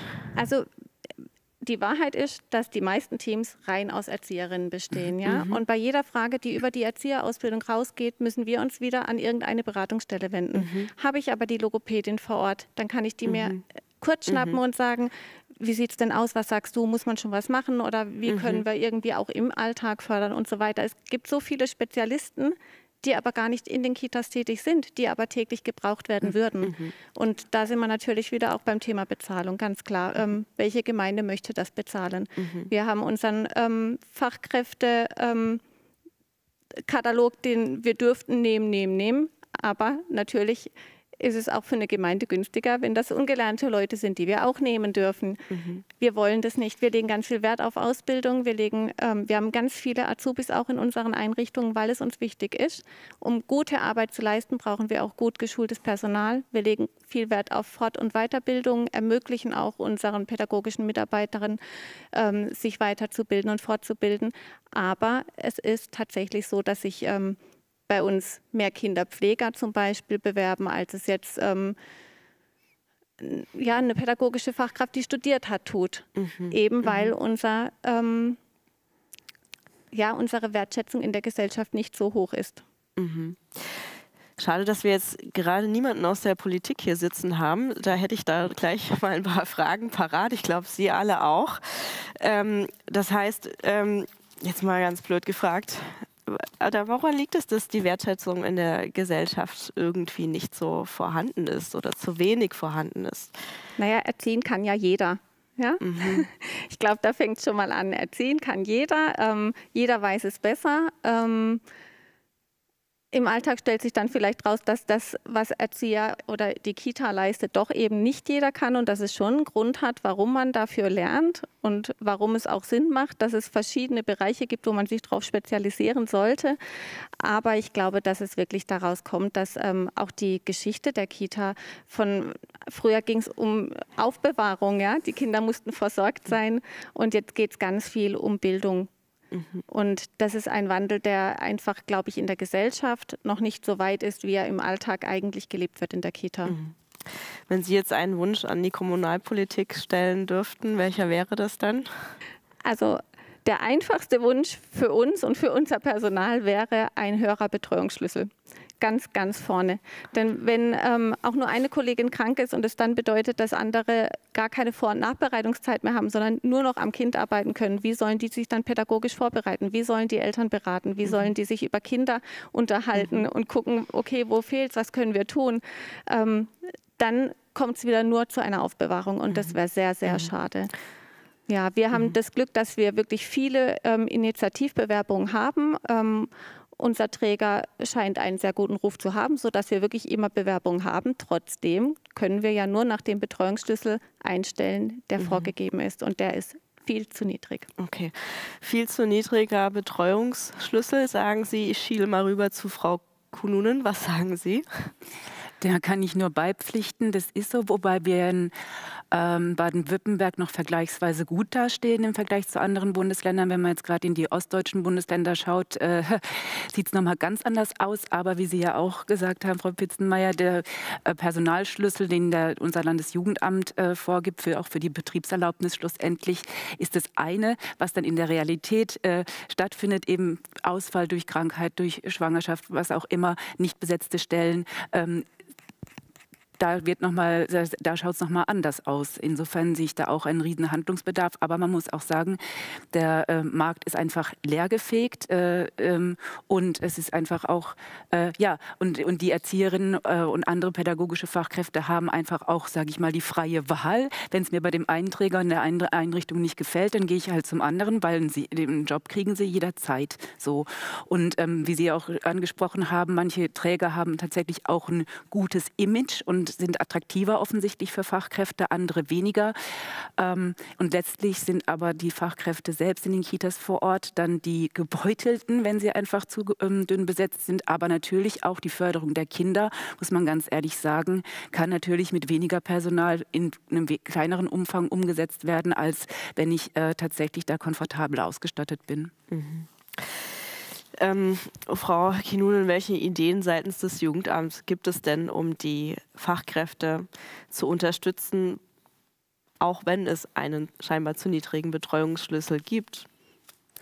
Ja, ähm, das sind ja auch Angebote jetzt von Starkwerden, die sich genau dahingehend richten, auch vor allem äh, äh, auch mit die Resilienz, die eigene Widerstandsfähigkeit und den Umgang mit Frustration, Konflikten, alltäglichen äh, ähm, Widrigkeiten, ähm, die im Kita-Alltag durchaus mal vorkommen können, äh, damit besser umgehen zu können auch.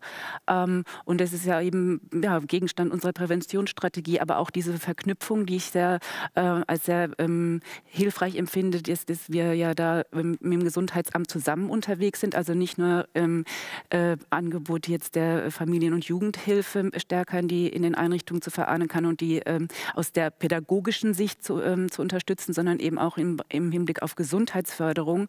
Das zeigen ja auch ähm, Studien, dass, die, äh, dass es um die Gesundheit der pädagogischen Fachkräfte in den Kitas nicht allzu gut äh, bestellt ist, was ich ein sehr besorgniserregendes, ähm, ja, ein sehr, sehr für einen sehr besorgniserregenden Befund halte.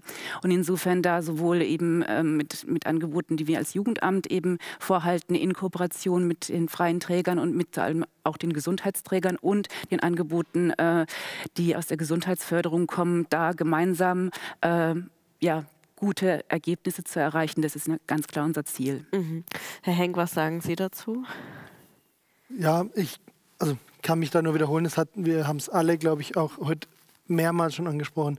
Es ist einfach diese, diese Niederschwelligkeit, die Hilfe muss in die mhm. Einrichtung kommen, mhm. die muss zu den Kindern kommen, die muss zu den ErzieherInnen kommen.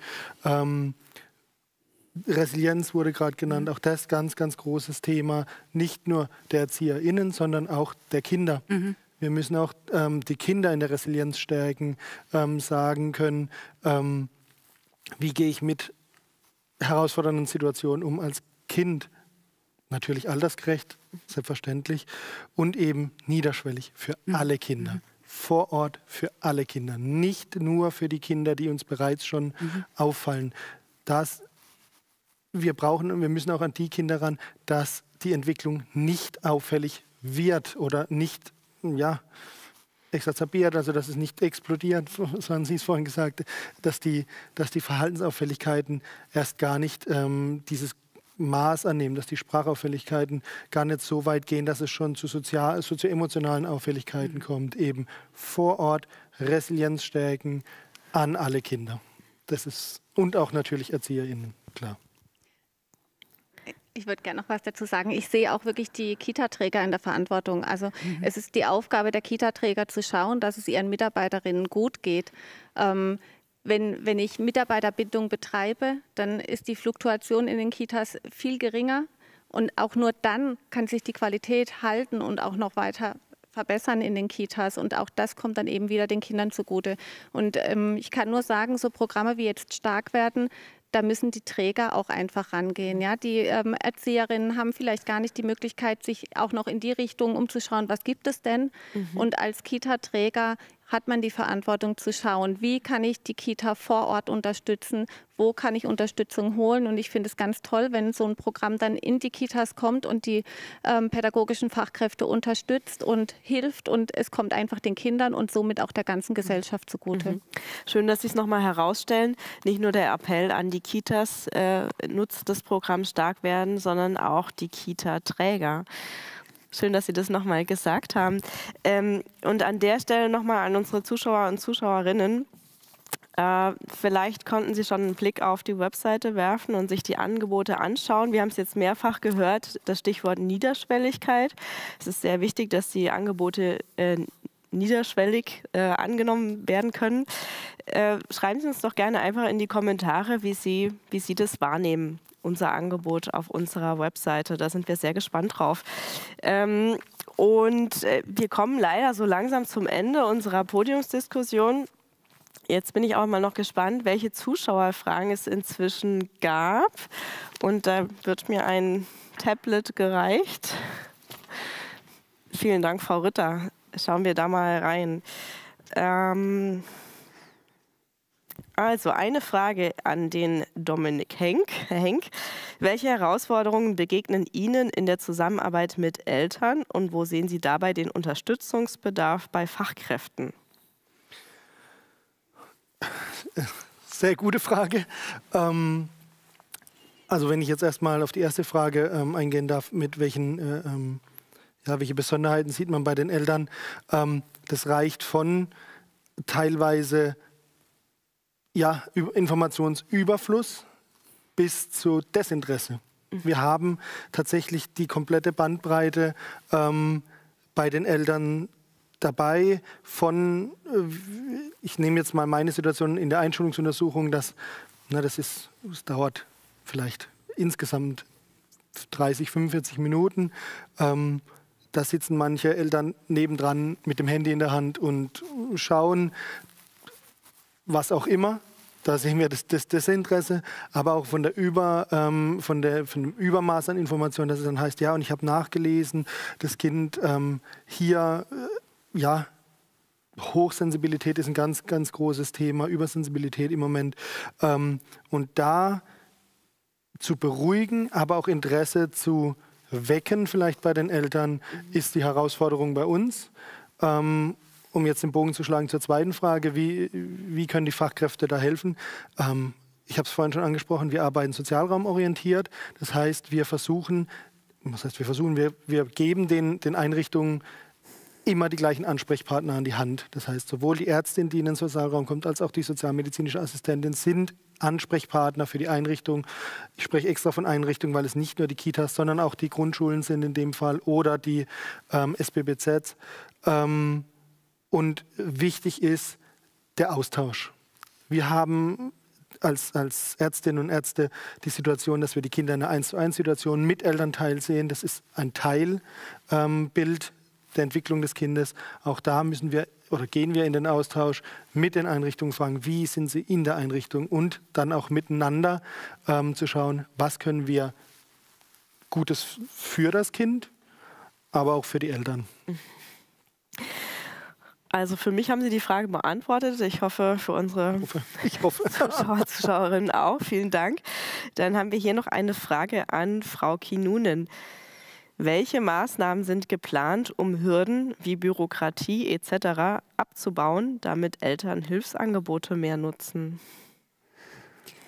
Ja, wie vorhin schon erwähnt, das ist ja jetzt, wird jetzt die Aufgabe der regionalen ähm, ähm, Präventionsbeauftragten sein, in den Raumschaften vor Ort, in den Einrichtungen ähm, unterstützend als Lotsen tätig zu sein, beratend tätig zu sein und auf die vielfältigen Angebote, die es bereits gibt, ähm, zum einen aufmerksam zu machen und zum anderen zu schauen, was braucht es für weitere Angebote und dort natürlich den ähm, ähm, bürokratischen Aufwand so gering wie möglich zu halten um jetzt einmal in dieser Podiumsdiskussion doch noch das Wort Corona zu erwähnen. Ähm, auch Corona, also vom Bund gibt es jetzt ja auch verschiedene Unterstützungsprogramme, dieses 2-Milliarden-Paket ähm, beispielsweise. Und äh, da muss ich sagen, ist, sind die Antragstellungsmodalitäten deutlich niederschwelliger geworden, ähm, weil einfach der Bedarf so hoch ist. Ähm, und das bleibt natürlich abzuwarten, aber auch zu wünschen, dass, ähm, diese, ähm, dass die bürokratischen Hürden geringer sind. Ich meine, äh, Jugendamt ist auch ein Teil der Verwaltung, der Kreisverwaltung, ähm, aber ähm, gerade die Antragstellung läuft oft eben bei uns ähm, im Jugendamt. Ähm, und ähm, die, äh, die Einrichtungen und Familien im Landkreis profitieren letztlich davon. Und wir sind dann auch dafür in der Verantwortung und unterstützen da auch entsprechend. Vielen Dank. Ähm, dann gibt es hier noch eine Frage an Frau Pfitzenmeier. Der Übergang Kindergarten-Grundschule ist für alle Beteiligten, wie Fachkräfte in der Kita, Lehrerinnen, Eltern und Kinder, eine spannende Übergangsphase. Wie kann dabei eine gelingende Zusammenarbeit zwischen allen Beteiligten aussehen? Was ist dabei notwendig?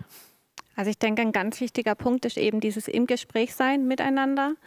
Ähm, ich kann aber auch sagen, dass es ähm, tatsächlich von Gemeinde zu Gemeinde große Unterschiede gibt Wir haben Grundschulen, ähm, wo die Kooperationslehrer ein sehr hohes Deputat haben, viel in die Kitas kommen, die Kinder auch wirklich im Vorfeld kennen. Ich erlebe aber auch Schulen, wo ich sagen muss, okay, die Kooperationslehrerin hat so viele Kitas, die kann die Kinder nicht kennenlernen. Ja? Sie kann sich natürlich auf die Aussagen der Erzieher verlassen. Aber es wäre ja schöner, wenn wirklich Kontakt bestünde. Also wir wünschen uns natürlich, dass die KooperationslehrerInnen die Möglichkeit haben, ähm, sich wirklich intensiv mit den Kindern im Vorfeld schon auseinanderzusetzen. Von unserer Seite her ähm, ist die Schwierigkeit nicht so groß. Wir können mit den Kindern in die Schule gehen. Ähm, es ist wirklich, glaube ich, für die Schulen in dem Fall schwieriger, die ähm, Möglichkeiten zu stemmen, weil ja auch gerade in den Grundschulen viele ähm, Lehrerinnen fehlen. Ähm, wir sind mit den Eltern im Gespräch, wenn es optimal läuft, ähm, dann finden auch schon Elternabende im Vorfeld statt, wo eben dann die Schule vertreten ist, die Kita vertreten ist, die Eltern ihre Sorgen und Ängste auch wirklich aus, aussprechen können. Ähm, bei Elterngesprächen in der Kita wird sowieso viel getan. Ähm, aber es, ja, es ist wirklich, es gibt große Unterschiede. Und es ist für die Kinder natürlich um Vielfaches leichter, wenn sie schon ein paar Mal in der Schule waren, die Räumlichkeiten kennen, vielleicht auch schon andere Schüler dieser Schule kennen und sich da schon willkommen fühlen mhm. und nicht am ersten Tag in, in ein ganz fremdes Umfeld reingeschickt mhm. werden.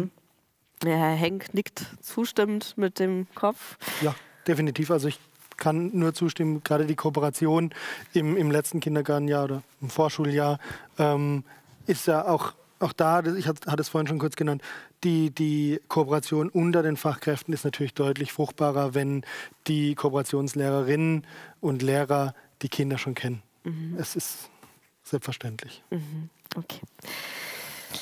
Gut, dann kommen wir nun wirklich zum Ende unseres Talks. Ich wünsche mir von jedem von Ihnen noch ein abschließendes Statement, und zwar ein letztes Fazit. Was ist in Ihren Augen ein absolut notwendiger Schritt, um dem Ziel der Teilhabe und Chancengleichheit aller Kinder deutlich näher zu kommen? Nochmal ganz kurz in wenigen Worten, Frau Fitzmeier.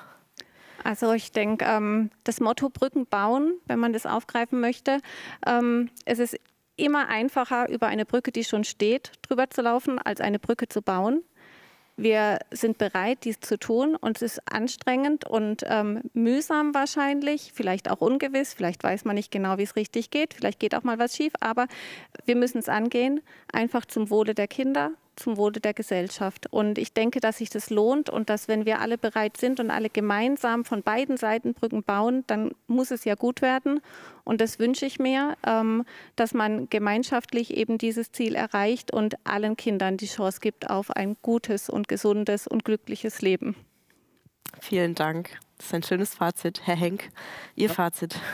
Ja, ähm, ich kann nur zustimmen.